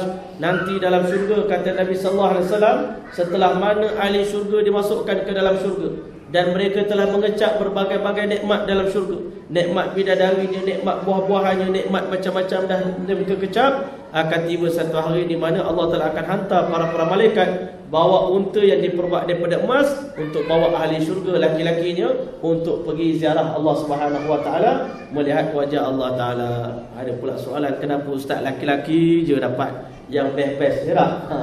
Jawapannya sebab orang perempuan dah dapat banyak yang best dekat dunia ni. Orang lelaki banyak tak dapat. Orang lelaki tak boleh pakai sutera dekat dunia, tak boleh pakai emas dekat dunia. Ha, tak ada masa cuti. Ha? Orang perempuan boleh cuti macam-macam kelebihan Allah Ta'ala bagi pada kaum wanita di dunia. Maka nanti di akhirat Allah Ta'ala lebihkan pula sikit orang laki-laki daripada orang perempuan. Salah satu daripadanya adalah kelebihan melihat wajah Allah Subhanahu Wa Ta'ala. Masya Allah. Bertahun-tahun berjalan sampai di tempat yang ditentukan oleh Allah Ta'ala. Allah tak perlu pada tempat. Tapi kita perlu pada tempat untuk pertemuan kita dengan Allah. Kita perlukan masjid, perlukan Kaabah, kita perlukan arash untuk kita pergi. Tetapi Allah Ta'ala tidak perlu kepada tempat. Hadirin dan rahmati Allah sekalian, maka akhirnya sampai di sana, Masya Allah, Allah Subhanahu Wa Ta'ala akan bertanya kepada ahli syurga, tolong beritahu kepada aku, apakah ada-ada orang kata sepanjang tuan-tuan berada dalam syurga ni, apakah ada kekurangan dari segi layanan kami? Ada yang tak berkenan di hati ke? Ada yang kurang memuaskan hati kamu? Di kali itu Masya Allah ahli syurga akan tertunduk malu depan Allah Ta'ala Ya Allah. Apa lagi yang kami nak minta daripada engkau Ya Allah? Alam tubayyid wujuhana. Engkau telah putihkan wajah kami Masya Allah Dan engkau telah murniakan kepada kami Anugerah yang tak pernah engkau bagi pada orang lain. Walaupun ahli syurga itu banyak peringkatnya tapi kita dapat syurga kita pun kita rasa kita lah orang paling bertuah sekali. Kita lah orang paling tinggi sekali darjat dalam syurga. Maka di kala itu Allah SWT beritahu wahai ahli syurga. Di sisi aku masih ada dua nikmat yang aku belum berikan kepada kamu. Nikmat yang pertama adalah Uhulla alaikum ridwani. Dengan seni baik-baik Semenjak daripada hari ini Aku limpahkan keridhaan aku ke atas kamu. Inilah benda yang kamu dambakan dalam hidup kamu. Selama ini kamu beribadat kepada aku. Kamu takut engkau murka kepada aku. Engkau buat apa-apa dalam dunia Kamu masih takut kepada kemurkaan aku. Tetapi daripada hari ini Aku elankan keridhaan aku. Menangis ahli syurga begitu gembira Mendapat iklan keridhaan daripada Allah Subhanahu Wa Taala Maka ketika mana ahli syurga baru saja dapat berita gembira Maka sekarang aku nak tambah lagi Satu lagi nikmat yang belum pernah aku berikan kepada kamu sebelum ini. Maka ahli syurga kata Ya Allah apa lagi nikmat Yang lebih besar daripada redamu Ya Allah? Sedangkan engkau sebut dalam Quran Wa ridwanum minallahi akbar. Redha Allah nikmat paling besar. Adakah ada nikmat lebih besar daripada redamu Ya Allah Maka Allah SWT mengatakan Selama ini kau sembah aku Kamu beribadat kepada aku Bermujahadah berkorban untuk aku Kamu habiskan seluruh hidup kamu Jiwa raga kamu Susah payah untuk aku Maka kamu tak pernah melihat aku. Tetapi pada hari ini aku berikan peluang kepada kamu. Allah SWT jatuhkan tirai Hijab 70 hijab daripada nur Sehingga di kali itu Masya Allah Manusia akan mula memandang Allah SWT dengan segala keindahan Yang tak mampu diceritakan dengan lidah dan akal fikiran manusia. Tetapi cuma Allah minta dalam Quran la tudrikul absar. Walaupun kita tengok Allah tapi kita tak mampu meliputi seluruh zat Allah Taala. Tetapi yang apa yang kita tengok sangat-sangat membahagiakan kita. Terpegun manusia, terpuka, terpesona terfana melihat Allah Subhanahu Wa Taala sehingga masya Allah di kali itu ulama mengatakan kelazatan dan juga kesedapan melihat wajah Allah lebih lazat daripada bersama dengan bidadari-bidadari dalam syurga Allah Subhanahu Wa Taala sehingga bertahun-tahun ahli syurga terpesona sehingga tiba satu masa di mana isteri-isteri kita dalam syurga bidadari-bidadari dalam syurga pergi merayu kepada Allah Taala ya Allah tolong kembalikan suami kami ke pangkuan kami sejak suami kami tinggalkan kami. Masya Allah syurga kami dah tidak ada seri lagi ya Allah. Tolonglah pulangkan suami kami ke pangkuan kami. Maka di kala itulah Allah Subhanahu Wa Taala akan beritahu kepada ahli syurga. Ha, kalau kita cakap bahasa kita lah, bukan Allah telah cakap begitu. Tetapi aku tahu kamu tak akan pernah puas untuk melihat aku untuk selama-lamanya. Tetapi kerana isteri kamu sedang berkesedihan di rumah sana, Masya Allah. Ahli syurga kata Masya Allah Potong steam betul lah ha? ha? Masya Allah Tengah sedap-sedap ni ha, Maka Masya Allah Isteri kamu sedang menangis ha, Di istana kamu Pergilah kamu balik Jumpa dengan mereka. Masya Allah di kali itulah Allah telah labuhkan kembali Hijab 70 hijab daripada cahaya. Masya Allah di kali itu Masya Allah Nabi SAW mengatakan Ahli syurga dalam keadaan terkial-kial tak tahu nak pergi ke mana demi Allah. Seandainya Allah Taala tidak hantar malaikat untuk pimpin tangan ahli syurga saya kata Rasulullah SAW ahli syurga dah lupa jalan nak balik ke rumah mereka. Kerana setelah melihat nikmat wajah Allah Taala tak ada mampu lagi nak akal fikiran manusia dah tak mampu nak berfikir lagi itulah nikmat yang Allah bagi kepada Nabi kita Muhammad sallallahu alaihi wasallam pada malam Isra dan Mi'raj sebab itulah tak dapat kita bayangkan masya-Allah ya perjalanan kita belum bermula tuan-tuan rahmat Allah. Ha, jangan bosan lagi tuan-tuan rahmat Allah ya. Jadi tuan-tuan rahmat Allah sekalian, ha, diringkaskan cerita setelah mana dibelah dada Nabi SAW, maka datang malaikat Jibril AS bawa burak yang mana kata Nabi SAW, burak ni satu kenderaan eksekutif bagi para-para Nabi. Ha, macam kita di Malaysia ni limousine perdana. Ha, Nabi-Nabi Masya Allah dia ada burak Yang mana kelajuan burak ni Tak ada mana-mana kenderaan dalam dunia lebih cepat daripada burak yad'u hafirahu 'inda muntaha tarafi. Mata dia sampai ke mana kuku dia dah sampai ke sana dah masya-Allah ha, sebelum baru tengok dah sampai dah sana. Begitu pantas sekali kelajuan burak ha, masya-Allah nak ceritakan satu-satu pengalaman apa yang Nabi tengok dalam perjalanan menuju ke Baitul Maqdis. Tuan-tuan dah dengar banyak dah ha, penceramah-penceramah cerita kan? Tetapi khulasanya tiga perkara yang Allah telah tunjukkan kepada Nabi kita Muhammad sallallahu alaihi wasallam. Yang pertama Allah tunjukkan kepada Rasulullah sallallahu alaihi wasallam itu haqaiqul hasanat wasayyiat hakikat kebaikan dan dosa yang kita buat. Dalam dunia ni kalau kita buat baik pun kita tak happy. Kalau kita buat dosa pun tak takut ini manusia. Tetapi kalau Allah Taala tunjukkan sebenarnya kesan ke kecelakaan yang ada pada dosa, tak ada siapa berani buat dosa. Masya-Allah, Nabi tengok orang yang mengumpat orang, dia memotong lidah dia sendiri, masya-Allah. Dia potong lidah dia sendiri. Yang mana tuan-tuan rahmat Allah, kita hari ini dalam dunia kita duk kutuk orang, kita kutuk dia, kita mengumpat dia, sebenarnya kita memotong segala kebaikan-kebaikan yang kita duk ada. Sebelum ini kita semayang khusyuk. Bila kita kutuk orang Allah cabut khusyuk dalam semayang. Sebelum ini boleh bangun malam. Bila kita selalu kutuk orang Pandang rendah pada orang Allah tarik nikmat boleh bangun malam. Sebelum ini boleh baca Quran sejuk satu hari tapi bila kita kutuk orang Allah cabut. Itulah orang kata simbolik daripada potong lidah sendiri Tuan-tuan Allah. Kita rasa kita mengumpat dia Lagi dia hina.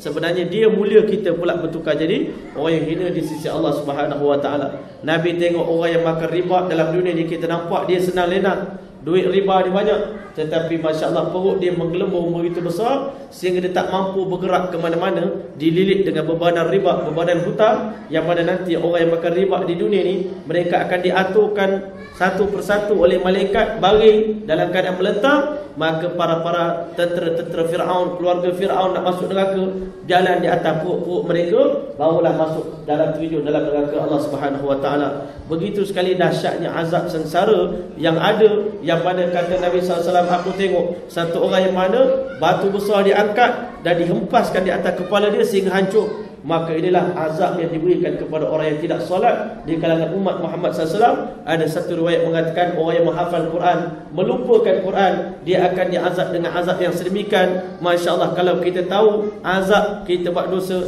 tak akan ada siapa berani buat dosa. Dan Nabi tengok orang yang keluar jalan Allah Taala berjihad jalan Allah Ta'ala. Dia membelanjakan satu ringgit jalan Allah Tumbuh sebatang pokok yang terus masak buahnya Dan siap dimakan. Inilah orang yang buat baik dalam dunia. Dia pun dapat cash sebenarnya. Ha? Orang kata kelebihan-kelebihan yang dijanjikan oleh Allah Subhanahu Wa Ta'ala. Yang kedua yang Nabi tengok Dalam sepanjang perjalanan Menuju ke ha, Baitul Maqdis Itu Allah telah memperlihatkan hakikat dunia ni kepada Nabi sallallahu alaihi wasallam tuan-tuan rahmat Allah ya hakikat dunia selama ini kalau orang kata dunia ni tak ada nilai dunia ni tak cantik, semua orang marah. Ustaz, ha? akhirat-akhirat juga. Tapi dunia kita nak juga, duit nak juga. Kalau tak ada duit macam mana nak berdakwah? Oh, betul juga dia cakap. Kan? Ha. Kalau tak ada duit orang Islam miskin macam mana? Tetapi bila Nabi SAW tengok hakikat dunia pada malam Isra' Mi'raj dah tua sangat dah dunia. Dekat nak kiamat sangat dah. Masya Allah pakai tongkat Tapi dunia ni ada ekor Dimainkan orang dengan ekor dia. Nampak macam nak dapat. Nak dapat dan nak dapat. Tiba-tiba baru pun nak cekau Tiba-tiba dunia pergi ke orang lain pula. Masya Allah Dunia ni tak pernah setia kepada sesiapa pun. Sebab itulah rugilah siapa yang jadi hamba dunia. Yang ketiga Allah telah tunjukkan azab yang ada dalam neraka Dalam azab kubur kepada Nabi SAW Diringkaskan cerita sampai di Baitul Maqdis. Nabi SAW pun ikat dia punya borak Di satu batu Yang mana Masya Allah Di batu itulah nanti pada hari kiamat Allah telah akan letakkan aras di atas batu tersebut. Itulah batu di mana semua Nabi-Nabi kalau datang ke Baitul Maqdis macam mana penceramah kita ni Ada parking khusus untuk penceramah. Ha, Kat semua tuan-tuan ni Maka begitulah juga di Masjid Al-Aqsa Ada parking khusus special untuk Nabi-Nabi. Maka Rasulullah pun ikat buruk dia di sana Masuk dalam masjid kaki kanan. Setelah berwuduk Nabi sembahyang tahiyatul masjid dua rakaat. Diringkaskan cerita datang Jibril AS Masya Allah bawa tiga mangkuk minuman kepada Nabi SAW Minuman yang pertama susu. Yang kedua air arak. Yang ketiga air biasa. Nabi yang bijaksana telah ambil minum susu. Masya Allah semoga Allah merahmati kamu wahai Muhammad sallallahu alaihi wasallam. Kamu telah memberi mendapat hidayah. Hudita wa hudiyat ummatuka. Tuhan telah mendapat hidayah daripada Allah. Umat Tuhan juga akan kekal dalam hidayah. Kerana itulah setelah Nabi meninggal dunia 1400 tahun umat ini masih lagi beriman pada Allah taala sedangkan Nabi Musa alaihissalam tinggalkan umat dia 40 hari. 40 hari umat dia telah tinggalkan agama dia masya-Allah. Ha, itulah kemuliaan Nabi Muhammad SAW Walaupun Nabi telah meninggal dunia Tapi jasa Nabi kepada kita begitu besar.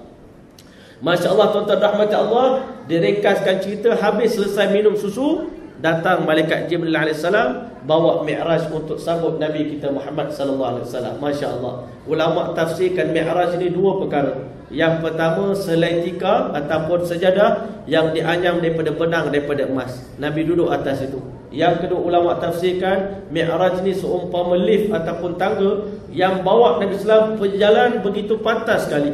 Daripada dunia ni nak menuju ke langit yang pertama, masya-Allah jaraknya 500 tahun perjalanan menaik tuan-tuan rahmat Allah. Bayangkan begitu sekali Sedangkan Nabi SAW pada malam Isra' Mi'raj akan naik bersama dengan Jibril AS Sebab itu sebagai selingan tuan-tuan rahmat Allah Selama ini kalau orang tanya pada kita Siapakah angkasawan yang pertama sampai ke langit, sampai ke bulan Kita kena tipu dengan orang mereka. Orang mereka kata itulah Neil Armstrong. Kita pun tulis, cikgu kata right, betul. Ha, Cikgu pun membetulkan. Tetapi kalau tanya kepada saya Sebenarnya angkasawan Muslim yang pertama Yang sampai ke langit Yang pertama Nabi Allah Idris AS Yang kedua lebih tinggi daripada Nabi Idris AS Iaitu Nabi kita Muhammad Sallallahu Alaihi Wasallam. Ah, Masya Allah Orang lain nak pergi naik ke bulan Kena berlatih di Kazakhstan ke Kyrgyzstan Masya Allah 6 bulan, 7 bulan berlatih di sana Balik ke Malaysia Barulah Masya Allah boleh pergi ke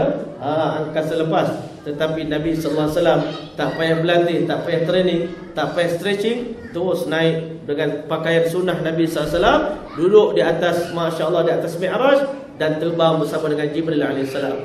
Jibril tak duduk atas Mi'raj, Jibril terbang sama dengan Nabi sallallahu alaihi wasallam sampai ke langit yang pertama, masya-Allah sampai di ufuk Tiba-tiba Nabi SAW terperajat melihat tanda kebesaran Allah Ta'ala yang hebat. Yang pertama sekali, iaitu Nabi tengok Jibril AS menjelma dalam rupa yang sebenar. Seumur hidup aku, aku tak pernah tengok Jibril dalam rupa yang sebenar. Selalu dia datang jumpa aku menyamar macam manusia, macam muka sahabat Da'iyatul Kalbi. Tetapi pada hari ini sangat mengkagumkan kepalanya di langit yang pertama, kaki di, di bumi ini.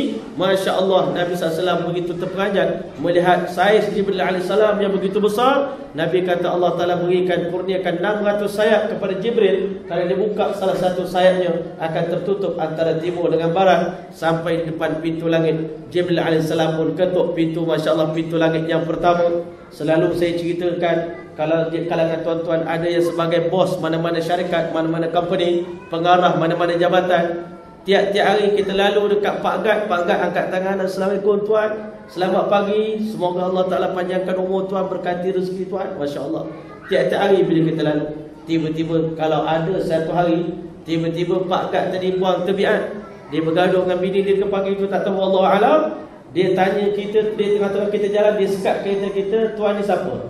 Kan? Ha. Kalau kita sebagai manusia Masya Allah ha, Kamu ni buat tabiat kemahnya Rasa-rasa ni memang nak kena buat kerja lah rasanya Besok pagi saya tak nak tengok muka awak lagi kat sini Bongkor beg balik kampung kata ya tak? Ha, itu kita lah manusia Tetapi malaikat Jibril AS Kerana dia malaikat tak ada nafsu Orang tanya dia man anta siapa tuan? Allahu akbar. Jibril salam tak marah pada malaikat penjaga langit yang pertama. Memang patut pun kamu bertanya sebab kamu pelik. Selalunya aku daripada zaman Nabi Adam salam dah turun naik ke dunia ni dah tiap-tiap hari. Tapi hari ni kerana kali pertama aku bawa naik manusia naik ke langit. Ha, sedangkan Allah sebut dalam Quran, ya ma'syaral jinni wal insi in istata'tum an tanfudhu min aqtaris samawati wal ardi fanfudhu. Wahai seluruh jin dan manusia, kalau kamu cuba, kalau kamu mampu tembuskanlah langit dan bumi, Ha, nescaya kamu tak akan mampu untuk tembus illa bisultan melainkan dengan keizinan daripada Allah Taala. Rupanya nak masuk langit pertama pun kena izin dengan malaikat. Kalau begitu memang confirm Neil Armstrong tak sampai ke langit yang pertama. Sebab malaikat tak akan izinkan dia. Kalau Nabi Muhammad pergi pun kena tanya, takkan Neil Armstrong pula boleh lepas. Maka sebab itulah tuan-tuan rahmat Allah, ada ulama menceritakan pula daripada dunia nak sampai ke langit pertama tu macam-macam pula, masya-Allah. Kalau diceritakan kepada kita Besarnya langit yang pertama dengan bumi ni Rupa-rupanya Masya Allah keluasan langit yang pertama. Kalau tengok daripada langit ke bawah ni Bumi ni menjadi kecil seperti sebentuk cincin Di tengah padang pasir yang begitu luas. Sebab itulah ulama mengatakan Bukan ulama, ulama sains lah kata Saiz matahari tu sejuta tiga ratus kali ganda Lebih besar daripada saiz bumi ni Masya Allah mana kalau bumi nak ukur dengan matahari Kena letak seribu, eh, seratus, seribu tiga ratus juta ha, bumi ni disusun-susun-susun baru jadi satu saiz matahari dan matahari di antara bintang yang paling kecil yang ada di angkasa sana. Sedangkan masya-Allah di angkasa sana banyak lagi gugusan-gugusan bintang-bintang bima sakti dan sebagainya. masya-Allah nak sampai ke langit yang pertama masya-Allah tak dapat dibayangkan keindahan alam yang Allah telah tunjukkan kepada Nabi Muhammad sallallahu alaihi wasallam. Dipendekkan cerita bila dapat tahu Rasulullah datang pada malam ini malaikat di langit yang pertama mengumumkan pada malam ini ketibaan Nabi kita Muhammad sallallahu alaihi wasallam. Insan yang paling agung insan yang paling dicintai oleh Allah Subhanahu wa taala pada malam ini menjadi tetamu kita kepada penduduk-penduduk langit. Bergembiralah kamu semua. masya-Allah bila Nabi touchdown menjejakkan kaki dia di atas langit yang pertama keberkatan daripada Nabi SAW jasad Nabi SAW telah menyebar ke seluruh permukaan langit. Malaikat-malaikat merasakan begitu bangga begitu seronok begitu bahagia pada hari ini. Kita menerima tetamu yang paling istimewa. Seolah-olahnya kata Dr. Ain Al-Qarni kalau di dunia wahai Muhammad kekasih aku kalau di dunia seluruh manusia menghalau kamu, mengusir kamu, tetapi kamu tengok macam mana orang langit memberikan layanan yang paling hebat kepada kamu, sambutan yang paling hangat diterima oleh Nabi SAW. Di waktu itulah Nabi SAW mengatakan, aku tengok sekumpulan malaikat dalam keadaan qiyam sampai hari kiamat ada di kalangan mereka ha? dalam keadaan bertakbir sampai kiamat, ada di kalangan mereka sujud sampai kiamat, ada di kalangan malaikat duduk dalam keadaan ha, masya-Allah rukuk sampai kiamat, ada di kalangan mereka bertasbih, bertasbih takdis memuji Allah Taala sampai hari kiamat. Alangkah baiknya kalau seandainya suasana ini ada di dunia. Alangkah bertuahnya tetapi masya-Allah di dunia manusia masih lagi belum kenal Allah Subhanahu wa taala. Dipendekkan cerita tuan-tuan di langit yang pertama Nabi Muhammad sallallahu alaihi wasallam telah berjumpa dengan manusia di sana masya-Allah. Kalau kita pergi jalan luar negara pergi Amerika pergi New York tengah-tengah jalan tiba-tiba tersempak dengan orang kampung Ha, Masya Allah Rupanya ada orang kampung koi dekat sini.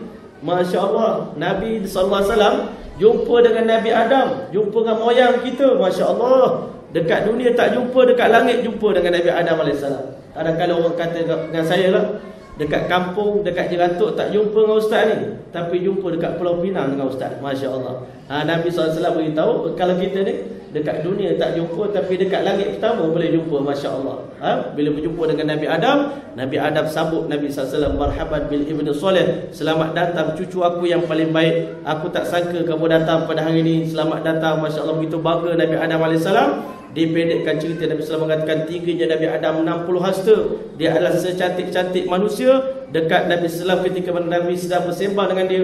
Tiba-tiba dia pandang belah kanan. Dia senyum sikit. Pandang belah kiri. Nabi Adam menangis. Bila pandang belah kanan. Roh anak cucu yang jadi ahli syurga sikit saja. Kalau roh pandang pada roh anak cucu yang bakal jadi ahli neraka. Begitu ramai. Kalau kita sebagai orang yang banyak cucu. Kalau kita berborak dengan member kita. Tuan Cucu tuan sekarang kat mana? Cucu saya sekarang jadi pengarah sini, jadi begitu, jadi ketua sini. Ha, seorang belajar kat Amerika, seorang belajar kat Harvard, satu orang belajar kat Cambridge. Masya Allah, cucu tuan pula. Cucu saya ni Masya Allah, tak terhenti nak ceritalah. Tak boleh nak dibanggakan, kata Nabi Adam AS. Ha? Yang kufur pada Allah, yang syirik pada Allah, yang kafir dekat dunia dah dekat 6 bilion yang belum Islam. Yang tak semayang berapa ramai, yang tak menutup aurat berapa ramai, ha, yang tak datang ke masjid berapa ramai, Ayat langgar perintah Allah. Masya Allah Nabi Adam AS begitu malu sekali dengan Allah Taala. Walaupun saya beribadat di langit Saya tak boleh bangga sebab Anak cucu saya semua tak berjaya belaka. Sikit je yang berjaya Maka Masya Allah naik pula 500 tahun lagi. Yang mana kata Nabi Sallam Langit yang pertama pula bila diukur dengan Langit yang kedua. Langit kedua menjadi sebentuk cincin Di tengah padang pasir yang begitu luas. Masya Allah di langit yang kedua Nabi Sallam berjumpa dengan Nabi Allah Yahya Dan Nabi Allah Isa AS Nabi kata aku tengok muka Nabi Isa Sebiji macam muka sahabat aku di dunia. Allah bin Mas'ud Al-Thaqafi radhiyallahu ta'ala Masya Allah sahabat-sahabat Nabi Dia bangga muka saya macam muka Nabi. Masya Allah Kita sekarang kalau muka macam muka artis Kita bangga ya? Lah Allah Akbar. Ha, Itu muka Muana Hilmi tu. Ada irat-irat muka apa? Ha, Muka apa? Abang apa? Ali tu. Ha, Ali tu. Masya Allah Tetapi tuan-tuan rahmat Allah Sahabat-sahabat Nabi begitu bangga. Ha, Ustaz Azmi Mustafa. Ha, Terlupa nak sebut. Tuan-tuan rahmat Allah Sahabat Nabi muka mereka macam muka ha, Nabi Allah Isa AS Bangga Masya Allah Macam muka Nabi. Naik pula lagi ha, 500 tahun 1500 tahun dah meninggalkan dunia Masya Allah Kalau ikut umur Nabi 63 tahun Tak padan dah. Dalam perjalanan tu mati dah. Tetapi tuan-tuan rahmat Allah Allah panjangkan usia Nabi kita Muhammad SAW 500 tahun naik ke langit yang ketiga Jumpa dengan Nabi Allah Yusuf AS Memang Nabi Yusuf ni memang handsome sangatlah Macam mana dia kata Tetapi Allah berikan kecantikan Nabi Allah Yusuf Separuh daripada cantiknya Nabi Adam AS Sebab tu Sayyidina Aisyah anha Kadang-kadang dia kutuk orang perempuan Mesir ya? Dia kata perempuan Mesir tu kecoh je lebih Baru tengok muka Nabi Allah Yusuf AS Dah potong-potong jari dah eh? Kerana terlalu terpukau dengan kecantikan muka Nabi Allah Yusuf AS Belum tengok lagi kekasih saya Muhammad SAW Kalau tengok Rasulullah SAW confirm mereka bukan potong jari tetapi mereka akan hiris. Jantung mereka tak sedar hingga jantung pun sampai hancur. Kerana begitu cantiknya wajah Nabi Muhammad wasallam. 500 tahun lagi naik jumpa dengan Nabi Allah Idris salam oh ini orangnya rupanya Idris AS dulu dekat dunia kami dengar cerita satu orang Nabi Dia berjalan ke syurga dia tak nak turun dah. Dia kemaru duduk dekat syurga Tak nak turun dekat dunia. Ah, Inilah orang dia Masya Allah Rupanya Nabi Idris duduk kat langit yang keempat. Naik pula 500 tahun lagi Di langit yang kelima jumpa dengan Nabi Allah Harun AS ah, Ini rupanya Nabi Harun AS Naik pula 500 tahun lagi Jumpa dengan Nabi Allah Musa AS Nabi kata muka Nabi Musa ni macam muka orang Yaman. Azbani Shanu'ah Muka dia macam orang India sikit. Ha, Itulah muka Nabi Allah Musa AS Sembang lama sangat dengan Nabi Allah Musa Aku cukup tak puas hati dengan Muhammad SAW Sebab dekat dunia dulu Ketika mana aku dapat kitab Taurat Aku baca ada 10 kelebihan Yang Allah nak bagi pada satu umat. Aku doa Ya Allah berikan fadilah ini Kelebihan ini pada umat aku. Allah kata tak boleh. Tilka umat Ahmad Tilka umat Ahmad. Ini untuk umat Muhammad Ini untuk umat Muhammad. Habis itu kalau begitu semua dapat umat Muhammad. Umat saya ini dapat apa? Akhirnya Masya Allah marah Nabi Allah Musa AS Bukan saya reka-reka cerita. Nabi Musa angkat lauh papan kitab Taurat tu Dia lemparkan. Dia kata kalau begitu rugilah saya jadi Nabi Allah Musa AS Dapat kitab Taurat pun tak ada erti juga. Sebab semua kelebihan dapatkan Umat Muhammad SAW dekat nak berpisah dengan Nabi Allah Musa AS Tiba-tiba Nabi Musa AS pun menangis. Malaikat tanya mengapa Tuhan menangis? Aku cemburu dengan Muhammad SAW Dia anak muda yang lahir kemudian daripada aku. Tetapi umat dia lah paling ramai masuk syurga Allah Subhanahu Wa Taala. Dinaikkan lagi 500 tahun perjalanan Nabi SAW masuk di celah-celah malaikat Di Baitul Ma'mur di langit yang ketujuh Sampai di Haziratul Qudsiyah Nabi tengok ada satu orang manusia tengah bersandar ha, Belakang dia ke dinding ha, Baitul Ma'mur Di dinding Haziratul Qudsiyah Masya Allah bila datang Nabi Sallam jumpa dengan dia Masya Allah Tuan ni siapa? Saya Muhammad Sallallahu Alaihi Wasallam. Masya Allah cucu saya Datang Masya Allah Nabi Ibrahim AS peluk cucu dia. Yang paling disayangi Nabi kata aku dapati muka Nabi Allah Ibrahim AS Sebiji macam muka Nabi kamu ni Muhammad Sallallahu Alaihi Wasallam Berbual lama begitu bangga je Nabi Allah Ibrahim AS Dengan Rasulullah SAW Akhirnya dekat nak meninggal Sampaikan berita ini kepada anak cucu di dunia. Yang pertama Sampaikan salam daripada atuk Kepada semua anak cucu di dunia Dengan lafaz Assalamualaikum warahmatullahi ta'ala wabarakatuh. Maka kerana itu kita malam ini wajib jawab salam. Nabi Ibrahim Kalau selama ini kita kirim SMS daripada Malaysia.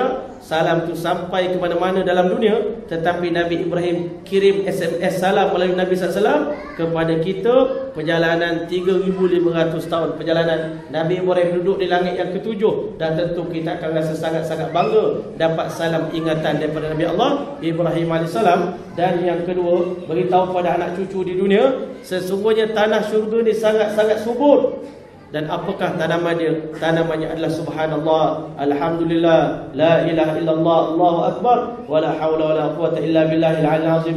Bila kita sebut, maka akan tumbuh sebatang pokok buah-buahan dalam syurga yang mana batangnya kata Rasulullah daripada emas, rantingnya daripada mutiara, buahnya sebesar seekor unta. Maka masya-Allah Nabi Islam pun balik sampaikan berita ini kepada kita tuan-tuan rahmat Allah. Diringkaskan lagi cerita masya-Allah, ha masya-Allah sampai di satu tempat yang dinamakan Sidratul Muntaha kata Nabi SAW sepanjang hayat aku tak pernah aku tengok satu makhluk yang lebih indah lebih cantik daripada pohon Sidratul Muntaha pohon bidara yang tidak ber tidak berduri yang begitu besar daunnya sebesar telinga-telinga gajah buahnya masak menjulai begitu masya-Allah begitu banyak bila Nabi SAW sampai di Sidratul Muntaha Allah beritahu ma rasya Allah liputi Sidratul Muntaha Dengan awan yang berwarna-warni Awan merah, awan kuning Awan kelabu, awan macam-macam color. Dan setelah itu Allah telah liputi pula Awan tadi dengan cahaya yang bergemerlapan Menjadikan Nabi tenggelam dalam rahmat Allah Ta'ala. Begitu gembiranya hati Nabi SAW Tiba-tiba kata Rasulullah Di bawah akar Sidratul Muntaha itu Mengalir empat batang anak sungai. Itulah sungai Nil dan sungai Furat yang mengalir ke dunia ke Mesir dan negeri Iraq dan dua lagi batang anak sungai mengalir ke dalam syurga. Itulah sungai Salsabila dan sungai Zanjabila. Ulama kata apa beza Salsabila dengan Zanjabila? Sebab Salsabila adalah cold drink.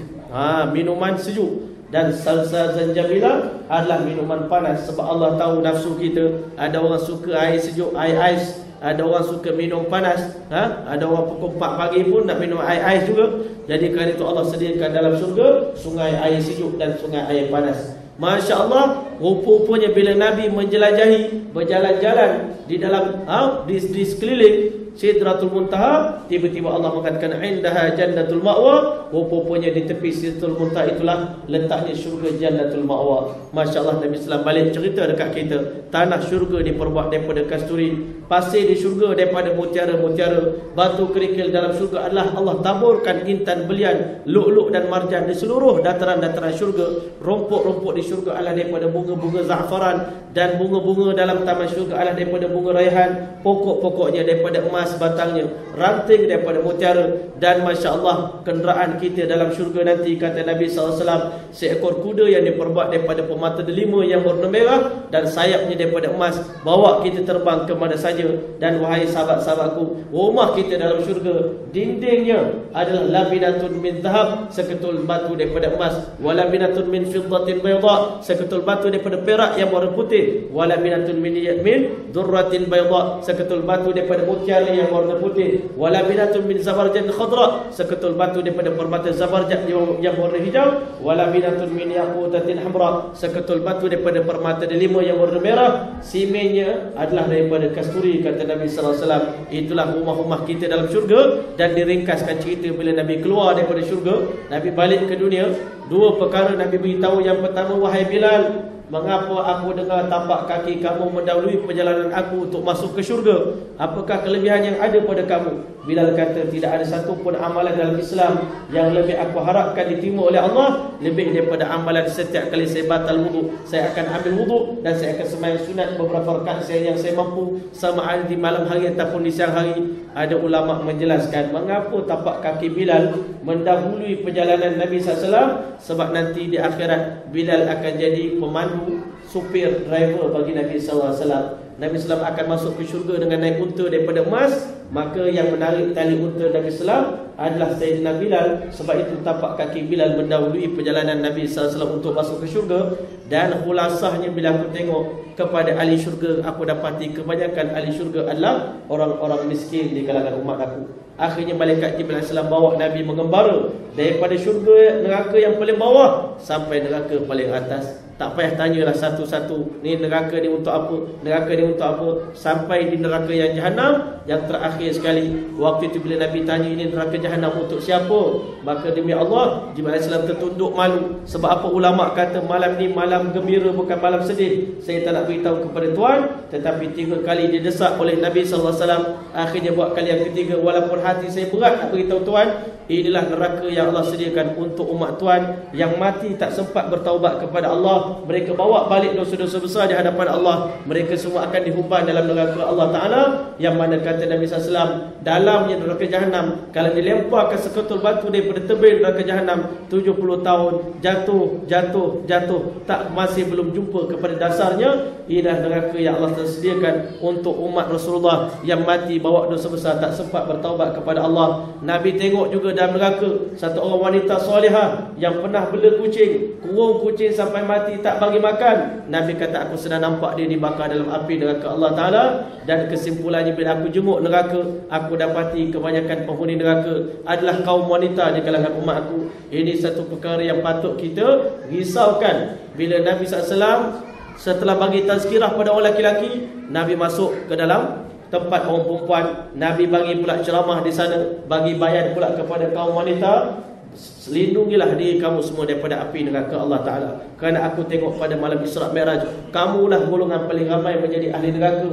Mendengar berita tadi Semua wanita-wanita telah cabut ha? Masya Allah gelang mereka Rantai mereka. Sebab Nabi SAW beritahu Ittaqun nar Walau bisyir ketamrah Kamu kena pelihara diri kamu daripada api neraka. Walaupun dengan bersedekah sebelah biji korma Lakukanlah. Maka sahabat Nabi tanya pada Rasulullah Wahai Rasulullah agak-agaknya apa dosa Yang menyebabkan kaum wanita paling ramai menjadi penghuni neraka jahanam Diberitahu kerana sesungguhnya dua dosa yang selalu kaum wanita lakukan. Yang pertama dia kata mereka tidak pernah bersyukur ke atas nikmat Yang Allah telah bagi daripada suami mereka. Kadang-kadang Masya Allah mereka selalu durhaka pada suami mereka. Seandainya dalam sepuluh hadis yang lain Kalau kamu buat baik pada isteri kamu seratus tahun Kamu jaga kebajikan dia, makan, minum dia, pakaian dia. Tetapi sekali saja kamu buat kesilapan Maka kaum wanita akan mengatakan Sesungguhnya abang tak pernah sayang pada saya Tak pernah sejak kahwin dengan saya Tak pernah buat baik sikit pun kepada saya Inilah sikap yang paling dibenci oleh Allah SWT Sebab malam yashkurin nas Lam yashkurillah Siapa yang tak berterima kasih kepada manusia Berarti dia juga tidak bersyukur kepada Allah SWT Dosa yang kedua Mudah-mudahan kaum ibu di belakang Terpelihara daripada kesilapan ini Adalah mulut mereka selalu memakai hamun Mencarut, mencela sesuatu kerana itulah dosa yang paling dibenci oleh Allah Subhanahu Wa Taala. Maka akhir-akhirnya diringkaskan lagi cerita dibawa Nabi Muhammad SAW naik ke satu tempat yang paling tinggi iaitu sempadan di antara alam malakut dengan alam jabarut. Itulah tempat yang dinamakan sebagai maqam mustawa iaitu makam sempadan di antara malaikat dengan umat alam jabarut alam ketuhanan. Sampai di sempadan masya-Allah sampai kalau kita ni berjalan-jalan sampai sempadan Siam dah. masya-Allah nak masuk negara sana Maka akhirnya Masya Allah Nabi Sallam pun ajak Malaikat Jibril AS Wahai Jibril jumlah kita sama-sama berjalan Kau dah tengok jumpa kita dah berjalan sama-sama daripada awal sampai di sini mengapa kamu pula tak nak ikut saya? Sepatutnya kita ikutlah sampai habis.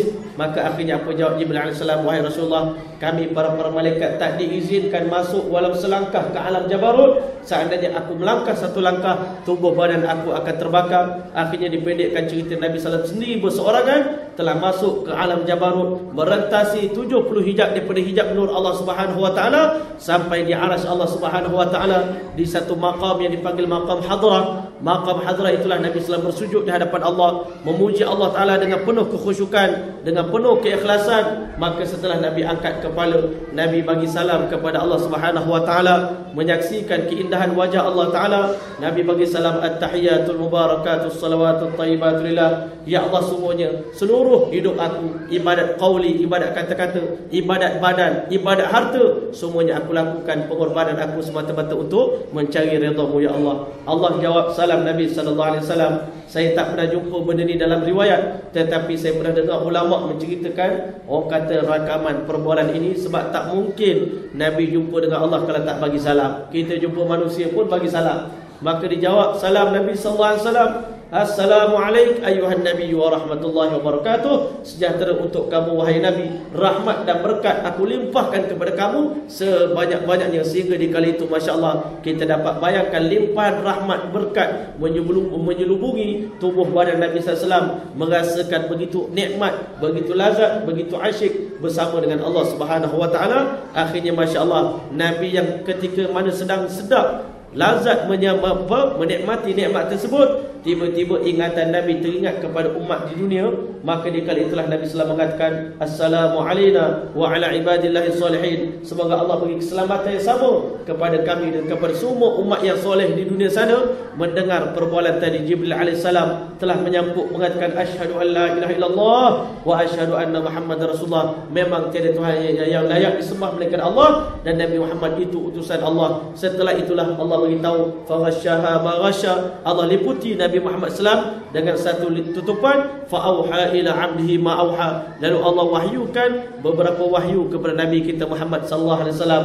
Walaupun tak dinyatakan apa wahyunya tetapi selaku umat kita dapat mengagak. Seolah-olahnya Allah mengatakan wahai Muhammad kekasihku selama ini aku biarkan kamu menderita.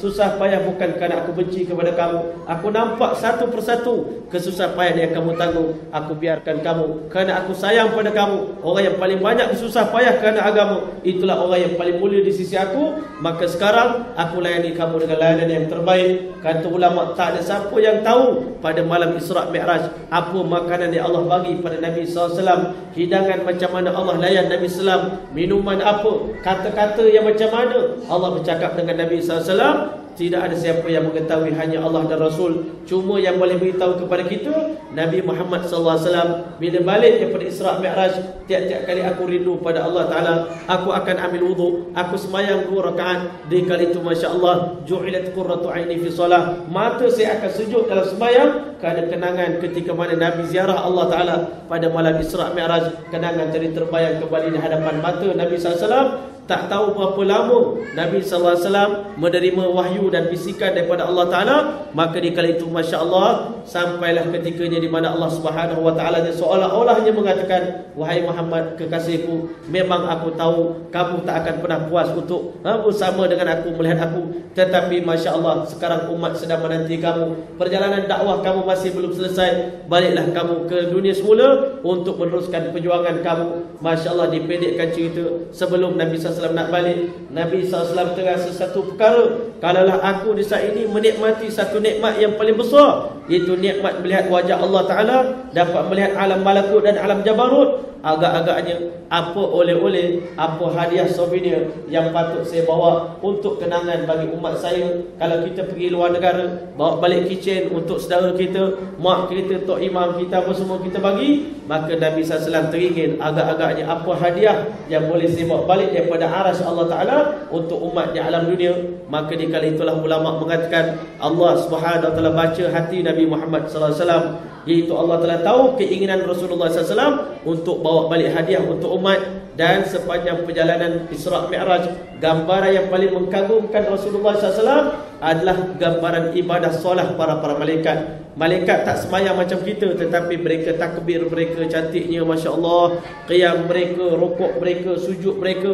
Kalaulah ibadah ini ada dekat dunia Nescaya indahnya dunia Masya Allah Akhirnya Allah Ta'ala buat keputusan Untuk merangkum sekalian ibadah para-para malaikat Daripada langit yang pertama Sampai langit yang ketujuh. Aku ambil takbir mereka Aku ambil qiyam mereka Aku ambil rukuk mereka Aku ambil sujud mereka Aku ambil duduk antara dua sujud mereka Aku ambil tasyahud mereka. Aku jadikan satu formasi ibadah solat yang yang paling sempurna, yang paling cantik untuk aku hadiahkan kepada umat Muhammad sallallahu alaihi wasallam sehingga ulama mengatakan bila umat akhir zaman angkat takbir dua rakaat sembahyang sunat dua rakaat belum sembahyang fardu nilai ibadah yang mereka kerjakan nilai sembahyang mereka di sisi Allah telah mengatasi ibadah sekalian para para malaikat daripada langit yang pertama sampai ke langit yang ketujuh. Itulah nilai harga sembahyang dua rakaat yang Allah bagi kepada kita dalam kehidupan dunia ini. Cuma kita dia yang tak memahami. Kita saja tidak menghargai anugerah yang Allah bagi kepada kita. Sebenarnya bila kita takbir para-para malaikat cemburu dengan kita. Bertuahnya kamu di dunia wahai manusia. Kami dekat dekat langit nak buat lain-lain daripada takbir tak boleh. Cuma takbir saja kalau kami rukuk-rukuk saja tak boleh buat ibadat lain. Tetapi kamu boleh variasikan. Kamu punya ibadah kamu kamu boleh takbir kamu boleh rukuk. Berarti kamu mendapat seluruh kelebihan yang dimiliki oleh para-para malaikat. Tetapi ulama kata ibadah solat bukan sekadar pergerakan. Tetapi Allah telah masukkan suratul Fatihah menjadi bacaan dalam sebacaan sembahyang umat akhir zaman. Kerana sesungguhnya surah Fatihah ini Allah simpan dalam khazanah dia berjuta-juta tahun lamanya payah sebut juta-juta tahun memang tidak ada kesudahannya, tidak ada awal dan akhir. Allah simpan khazanah surah Fatihah dalam khazanah yang khusus. Malaikat jaga surah Fatihah ini bertuahlah mana-mana umat dapat surah Fatihah. Maka tiba-tiba setelah mana Allah bagi nikmat semayang ternyata Allah hadiahkan suratul Fatihah untuk dijadikan bacaan dalam sembahyang kita. Sebab itu dalam hadis menyebut pada hari turunnya suratul Fatihah Azazil menangis berguling-guling di atas pasir, menaburkan pasir atas kepala. Kecewanya aku umat Muhammad dapat suratul Fatihah. Siapa yang dapat suratul Fatihah dia dapat segala-gala khazanah kunci langit dan bumi masya-Allah khazanah daripada kerajaan Allah taala. Ini yang menyebabkan Azazil sangat kecewa. Bukan sekadar suratul Fatihah Allah masukkan menambahkan lagi aksesori semayang kita. Bahkan Allah telah ambil rakaman perbualan di antara dia dengan Nabi sallallahu alaihi wasallam. At-tahiyatul mubarakatus salawatut thayyibatul lillah assalamu alayka ayuhan nabiy wa rahmatullahi wa barakatuh. Assalamu alayna wa ala ibadillah salihin. Dijadikan sebagai bacaan dalam tasyahud kita. Menjadikan nilai semayang kita dua rakaat. Berkali-kali ganda lebih mulia daripada ibadah para-para malaikat. Ibadah mana-mana makhluk pun dalam dunia maka masya-Allah diringkaskan cerita tak payah ceritalah berapa kali Nabi turun pula minta kurang daripada 50 jadi 5 maka masya-Allah turunnya Nabi SAW di Baitul Maqdis di waktu itu masya-Allah sedang menanti ah 124 ribu para-para nabi. Roh-roh mereka sedang menanti untuk ber, bermakmumkan Nabi SAW untuk menunggu siapa yang akan jadi imam sembahyang subuh. Bila Nabi turun bersama dengan Jibril AS Masya Allah semua Nabi-Nabi bersepakat mempersilakan Nabi SAW Kamulah tuanlah paling layak untuk jadi imam kepada kami sebaik subuh. Akhirnya Masya Allah tak dapat dibayangkan Bayangkan kalau kita waktu itu ada bersama dengan Nabi-Nabi 124 ribu Nabi-Nabi sembahyang menjadi makmum Dan imamnya adalah Nabi Muhammad SAW Seindah-indah bacaan, seindah-indah pergerakan Nabi lakukan. Masya Allah dipendekkan cerita. Selesai sembahyang subuh Masya Allah Walaupun tak diriwayatkan dalam hadis Tetapi dapat kita bayangkan Dah tentu Nabi-Nabi tadi akan bersalaman Berdakapan dengan Nabi SAW Mereka bagi kata-kata semangat dan perasan kepada Nabi SAW Wahai Muhammad kekasih kami Sahabat perjuangan kami Teruskanlah balik dan meneruskan perjuangan perjuangan dakwah Tuan. Kami selaku rakan-rakan seperjuangan Sahabat-sahabat Tuan Sentiasa mendoakan Tuan. Mudah-mudahan Tuan akan berjaya Menyelamatkan umat Tuan daripada azab neraka Allah Ta'ala. Kami akan menanti Tuan Bila Tuan kembali ke rahmatullah nanti. InsyaAllah kita akan berjumpa di langit sana. Sebab itulah dekat Nabi nak wafat. Bila ditanya ha, Kamu nak pilih nak meninggal dunia? Ataupun nak teruskan kehidupan. Nabi kata ila rafiqil ala. Aku nak jumpa dengan kawan-kawan aku. Nabi Ibrahim, Nabi Isa, Nabi Adam, Nabi Musa, Nabi Harun, Nabi Idris, Nabi Yusuf alaihissalam di rafiqil ala di alam yang tinggi sana. Itulah sahabat-sahabat yang diridui oleh Nabi Muhammad sallallahu alaihi wasallam. Akhirnya masya-Allah bila Nabi balik ke tempat dia, sampai di tempat Nabi tidur tadi, dalam riwayat menyebutkan bahawa tempat tidur Nabi masih lagi panas macam biasa masya-Allah. Macam baru Nabi SAW bangun daripada tempat tidur dia Masya-Allah. Ha, bila Nabi bangun, wajah Nabi berseri-seri. Maklumlah orang mau balik jumpa ziarah Allah Taala. Ha, begitu seronok, begitu bangga. Masya-Allah, balik saja Ummu Hani bertanya kepada Nabi SAW, sepupu Nabi, "Wahai Rasulullah, Apakah perkara yang telah menimpa tuan yang berlaku pada tuan sepanjang malam? Dia pun menceritakan perjalanan Isra' Mi'raj kepada sepupu dia. Maka akhirnya Ummu Hani radhiyallahu taala mengatakan Ya Rasulullah aku merayu kepada tuan Tolong jangan sampaikan berita ini Kepada mereka-mereka semua Kerana mereka sangat membenci kamu. Aku bimbang mereka akan dustakan kamu. Nabi kata ini amanah daripada Allah Ta'ala. Saya kena sampaikan kepada umat saya. Masya Allah Nabi pun pergi ke Kaabah. Masya Allah dipendekkan cerita ha? Abu Jahal waktu itu tengok Nabi SAW sedang mundar mandir di sekeliling Kaabah. Masya Allah waktu itu Nabi SAW wajahnya semakin ceria. Semalam tengok Muhammad ni menangis. Hari ni mengapa pula dia bergembira? Wahai Muhammad ada cerita baru ke nak kongsikan bersama dengan kami? Masya Allah kata Nabi memang ada pun. Masya Allah kata Abu Jahal tuan-tuan semua kita berkumpul Dengar apa yang Muhammad nak sampaikan. Akhirnya Masya Allah Nabi pun sampaikan Berita Isra' wal Mi'raj begitu panjang lebar pengalaman di sepanjang malam ha? berada di alam malakut berada di alam jabarut berada di alam barzah Maka bila dengar berita tadi Kata orang kafir Selama ini kita dengar Kita kata Muhammad ini gila Tetapi bila dengar berita ini Kami lebih yakin Lebih nampak lagi Bahawa si Muhammad ini membedah betul-betul. Ha? Orang kata kalau bahasa sekarang Jangan gembira, jangan suka Itu kronik sangat dah. Tahap ha? yang menimpa Nabi Muhammad SAW Begitu kuat pengingkaran mereka Tetapi berita ini bila sampaikan kepada orang beriman macam kita. Orang beriman macam Sayyidina Abu Bakar As-Siddiq Dia mengatakan kalaulah peristiwa ini berlaku kepada Muhammad SAW lebih hebat daripada ini pun kami percaya. Lebih dahsyat daripada itu pun kami percaya semenjak daripada hari itu diberikan gelaran As-Siddiq kepada Sayyidina Abu Bakar As-Siddiq maka menjelang waktu tengah hari turun Jibril daripada langit bawa solah bagi hadiah kepada Nabi SAW Masya Allah tadi yang Nabi terima tadi baru terima replika saja. Ha, macam kita dapat cek besar ni. Ha, 200 ribu, 300 ribu itu baru dia punya replika saja. Tapi betul-betul nak serah cek itu dekat tangan kita ha, diserahkan sembahyang itu pada Nabi SAW di dunia ini dibagikan waktu zuhur Masya Allah sembahyang zuhur adalah sembahyang yang pertama ditunaikan dalam Islam. Zuhur maknanya cemerlang. Siapa yang tunaikan solat hidup dia pasti akan cemerlang dalam hidup dia.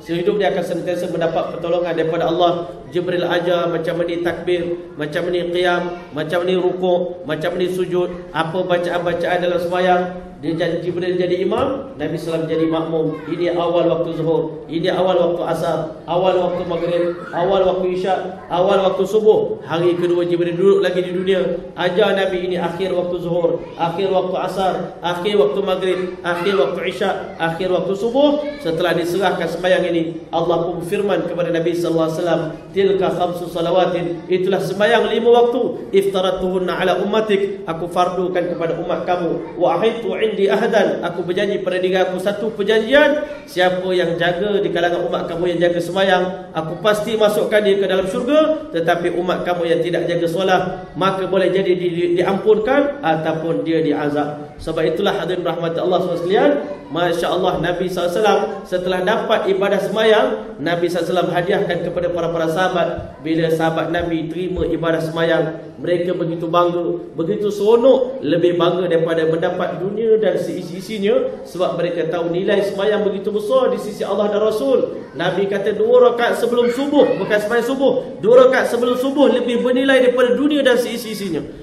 Bayangkan kalau kita sembahyang subuh, sembahyang zuhur, sembahyang maghrib, sembahyang isyak, nilainya terlalu bahagia.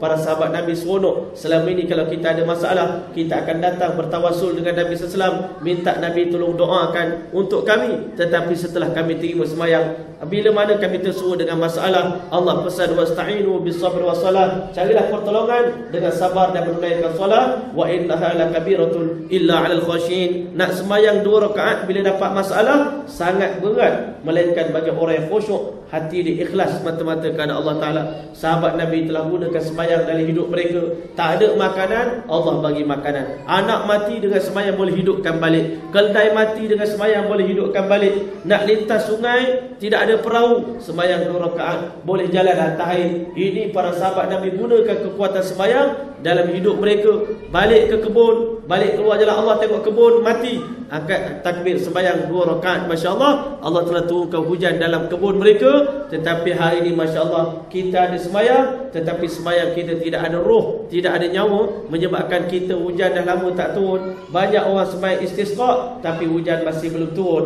Bukan sembahyang tak betul diri kita yang tak betul. Sebab itulah kita perkara pertama sebelum kita mati kita kena sempurnakan solat kita. Sahabat Nabi mereka akan belajar wuduk cara Nabi mereka akan belajar semayang cara Nabi bahkan mereka akan pergi cari orang yang semayangnya paling mirip dengan semayang Nabi. Kita kena belajar solat daripada mereka. Sehingga mereka mengatakan kami tak pernah tengok satu orang yang semayangnya lebih mirip dengan semayang Nabi lebih daripada semayangnya Anas bin Malik radhiyallahu taala semayang dia sangat mirip dengan pergerakan Nabi sallallahu hari ini kita tak pernah tahu tentang perkara itu. Tak nak ambil tahu. Sebab itulah hari ini semayang kita tidak ada kehebatannya. Sebab itulah tuan-tuan rahmat Allah. Allah bagi semayang sebagai hadiah paling berharga Hari ini kalau orang bagi kita hadiah daripada luar negara Tiba-tiba esok pagi tengok Dah masuk tong sampah Dia punya hadiah dia. Apa perasaan dia tuan-tuan rahmatullah? Sedangkan hari ini bila Allah bagi hadiah paling besar Hari ini kenapa majoriti umat Islam tak solat? Umat Islam tak semayang. Kalau pergi sekolah menengah ha, Siapa yang sembahyang subuh pagi tadi angkat tangan? Seorang daripada 900 orang Anak-anak kita Anak cucu kita di sekolah Inilah keadaan yang berlaku. Betapa umat akhir zaman tidak menghargai semayang sebab itu tak heranlah hidup kita umat Islam di akhir zaman ini penuh dengan penderitaan. Sebab apa Nabi kata tiap-tiap kali orang semayang semayang yang khusyuk dia akan naik ke atas dalam keadaan bercahaya. Didoakan hafizakallah kama hafiz tadi. Semoga Allah jaga Tuhan sebagaimana Tuhan telah jaga kami. Tetapi orang yang tidak jaga semayang semayang akan doakan kehancuran untuk dia. Dayakallah kama dayatani semoga Allah menghancurkan Tuhan sebagaimana Tuhan telah sisirkan kami Allah juga akan sisirkan kamu. Sebab itu ulama kata, tidak ada satu amalan yang ganjarannya lebih cash daripada semayang lagi. Kalau kita tunaikan semayang dengan baik, doa daripada semayang akan menyebabkan hidup kita akan terjamin. Hidup kita akan terpelihara. Tetapi kalau semayang doa akan kebukan untuk kita, tak ada siapa yang mampu menghalangnya. Jadi kali itu insyaAllah mudah-mudahan Allah telah bagi taufik kepada hidayah kepada kita semua insyaAllah. Untuk kita istiqamah semayang berjemaah sampai akhir hayat kita. Semayang di awal waktu. Allah bagi kekuatan pada kita semua. Untuk semayang sama macam semayang Nabi Muhammad SAW. Allah bagi khusyuk dalam semayang kepada kita. Allah bagi keikhlasan kepada kita Allah bagi roh solat kepada kita dan Allah Ta'ala jadikan melalui perhatian semayang kita kita dapat menarik pertolongan daripada khazanah Allah Ta'ala. Semayang dua rakaat kita akan menyelesaikan masalah kita di dunia dan di akhirat dan semayang kita diterima oleh Allah Ta'ala nanti di alam akhirat. Dan bahkan semayang kita menepati keinginan Allah dan Rasul menepati dan semayang kita akan menjadi mi'raj bagi kita semua. Sehingga bila kita semayang kita juga akan mi'raj. Macam mana Nabi SAW mi'raj pada malam Isra' dan mi'raj? Kerana sungguhnya Nabi SAW telah mengatakan as-salat mi'raj al-mu'minin. Sembahyang ini adalah mi'raj bagi sekalian orang beriman. Kalau mana Nabi sallallahu bermi'raj pada malam Isra' Mi'raj, umat juga boleh bermi'raj macam Nabi sallallahu itu ambillah wudu dan sembahyang dua rakaat berarti kita akan mi'raj. Bersama dengan Nabi sallallahu mudah-mudahan kita akan dihimpunkan. Bersama dengan jemaah Nabi Muhammad sallallahu di padang mahsyar menjadi jiran tetangga bagi Nabi Muhammad sallallahu dan Allah terima seluruh amalan kita hidup kita. Dan Allah telah juga pilih kita untuk berdakwah macam mana Nabi sallallahu berdakwah. Kerana sungguhnya Nabi sallallahu bila balik Isra Mi'raj Nabi telah diusir dan dihalau sehingga Nabi berhijrah ke kota Madinah. Berkat itu akhirnya Allah Taala telah sebarkan agama di seluruh alam. Amin amin ya rabbal alamin. Jadi saya rasa sekian dulu apa kita nak kongsikan bersama tentang perjalanan Isra dan Mi'raj. masya-Allah saya minta maaf banyak kepada tuan-tuan kerana ceritanya memang panjang ya. Ha ceramahnya memang panjang. Kalau nak tunggu sampai habis itulah yang kita kena ha kita kena bayar harga pengorbanan. Tetapi rasanya tidak ada yang beban kerana yang kita dengar adalah sejarah sejarah tentang perjuangan Nabi Muhammad SAW Kalau Nabi berjuang sampai tahap makan daun-daun kayu yang kering Maka kita ni apatah orang kata besarnya pengorbanan kita. Jika dibandingkan dengan pengorbanan Nabi Muhammad SAW kita dengar Isra' Mi'raj dalam masjid yang begitu nyaman dengan aircon dengan kapet. Ha, Masya Allah. Cuma malam ni Masya Allah ada sedikit saja gangguan di belakang sana anak-anak kita. Malam ni sangat-sangat ceria. Mudah-mudahan Allah Ta'ala uh, beri hidayah taufik kepada mereka insyaAllah. Tetapi walau bagaimanapun kita bersyukur pada Allah Ta'ala malam ini kita berjaya mendengar cerita tentang Isra' Mi'raj. Lagi dan lagi kita dengar sehingga Allah telah masukkan hakikat Isra' Mi'raj dalam diri kita. Kita buat keputusan untuk kita menjejaki perjalanan hidup Nabi Muhammad SAW walaupun Nabi telah meninggalkan kita tetapi kita merasakan Nabi SAW senantiasa bersama dengan kita untuk selama-lamanya. Amin amin ya rabbal alamin. Sekian dulu aku qouli hadza wa astaghfirullahal azim wa li wa lakum wa li sa'il muslimin wal muslimat fastaghfiru innahu huwal ghafurur rahim. A'udzu billahi minasyaitonir rajim. Bismillahirrahmanirrahim. Alhamdulillahi rabbil alamin. Hamdan yuwafi ni'amahu wa yukafi mazidah. Ya rabbana lakal hamd kama yanbaghi li jalali wajhikal karim wa azim sultanik. Allahumma salli ala sayyidina Muhammad wa ala ali sayyidina Muhammad. Afdal wa barik wa sallim. Jazallahu anna sayyidina wa habibana wa sanad سيدنا ومولانا محمدا صلى الله عليه وسلم بما هو أهله. اللهم أنزله المقعد المقرب عندك يوم القيامة. اللهم آتي الوسيلة والفضيلة والشرف والدرجة العالية الرفيعة وبعث مقاما محمودا الذي وعدته. إنك لا تخلف الميعاد. اللهم ربنا ظلمنا أنفسنا وإن لم تغفر لنا ترحمنا لنكونن من الخاسرين. ربي اجعلنا مقيم الصلاة. ومن ذريتنا ربنا تقبل دعاء. ربنا اغفر لنا ولوالدينا وللمؤمنين يوم يقوم الحساب. ربنا تقبل منا إنك أنت السميع العليم. وتب علينا يا مولانا انك انت التواب الرحيم مولانا دعوهم فيها سبحانك اللهم وتحيتهم فيها سلام واخر دعواهم الحمد لله رب العالمين تقبل الله منكم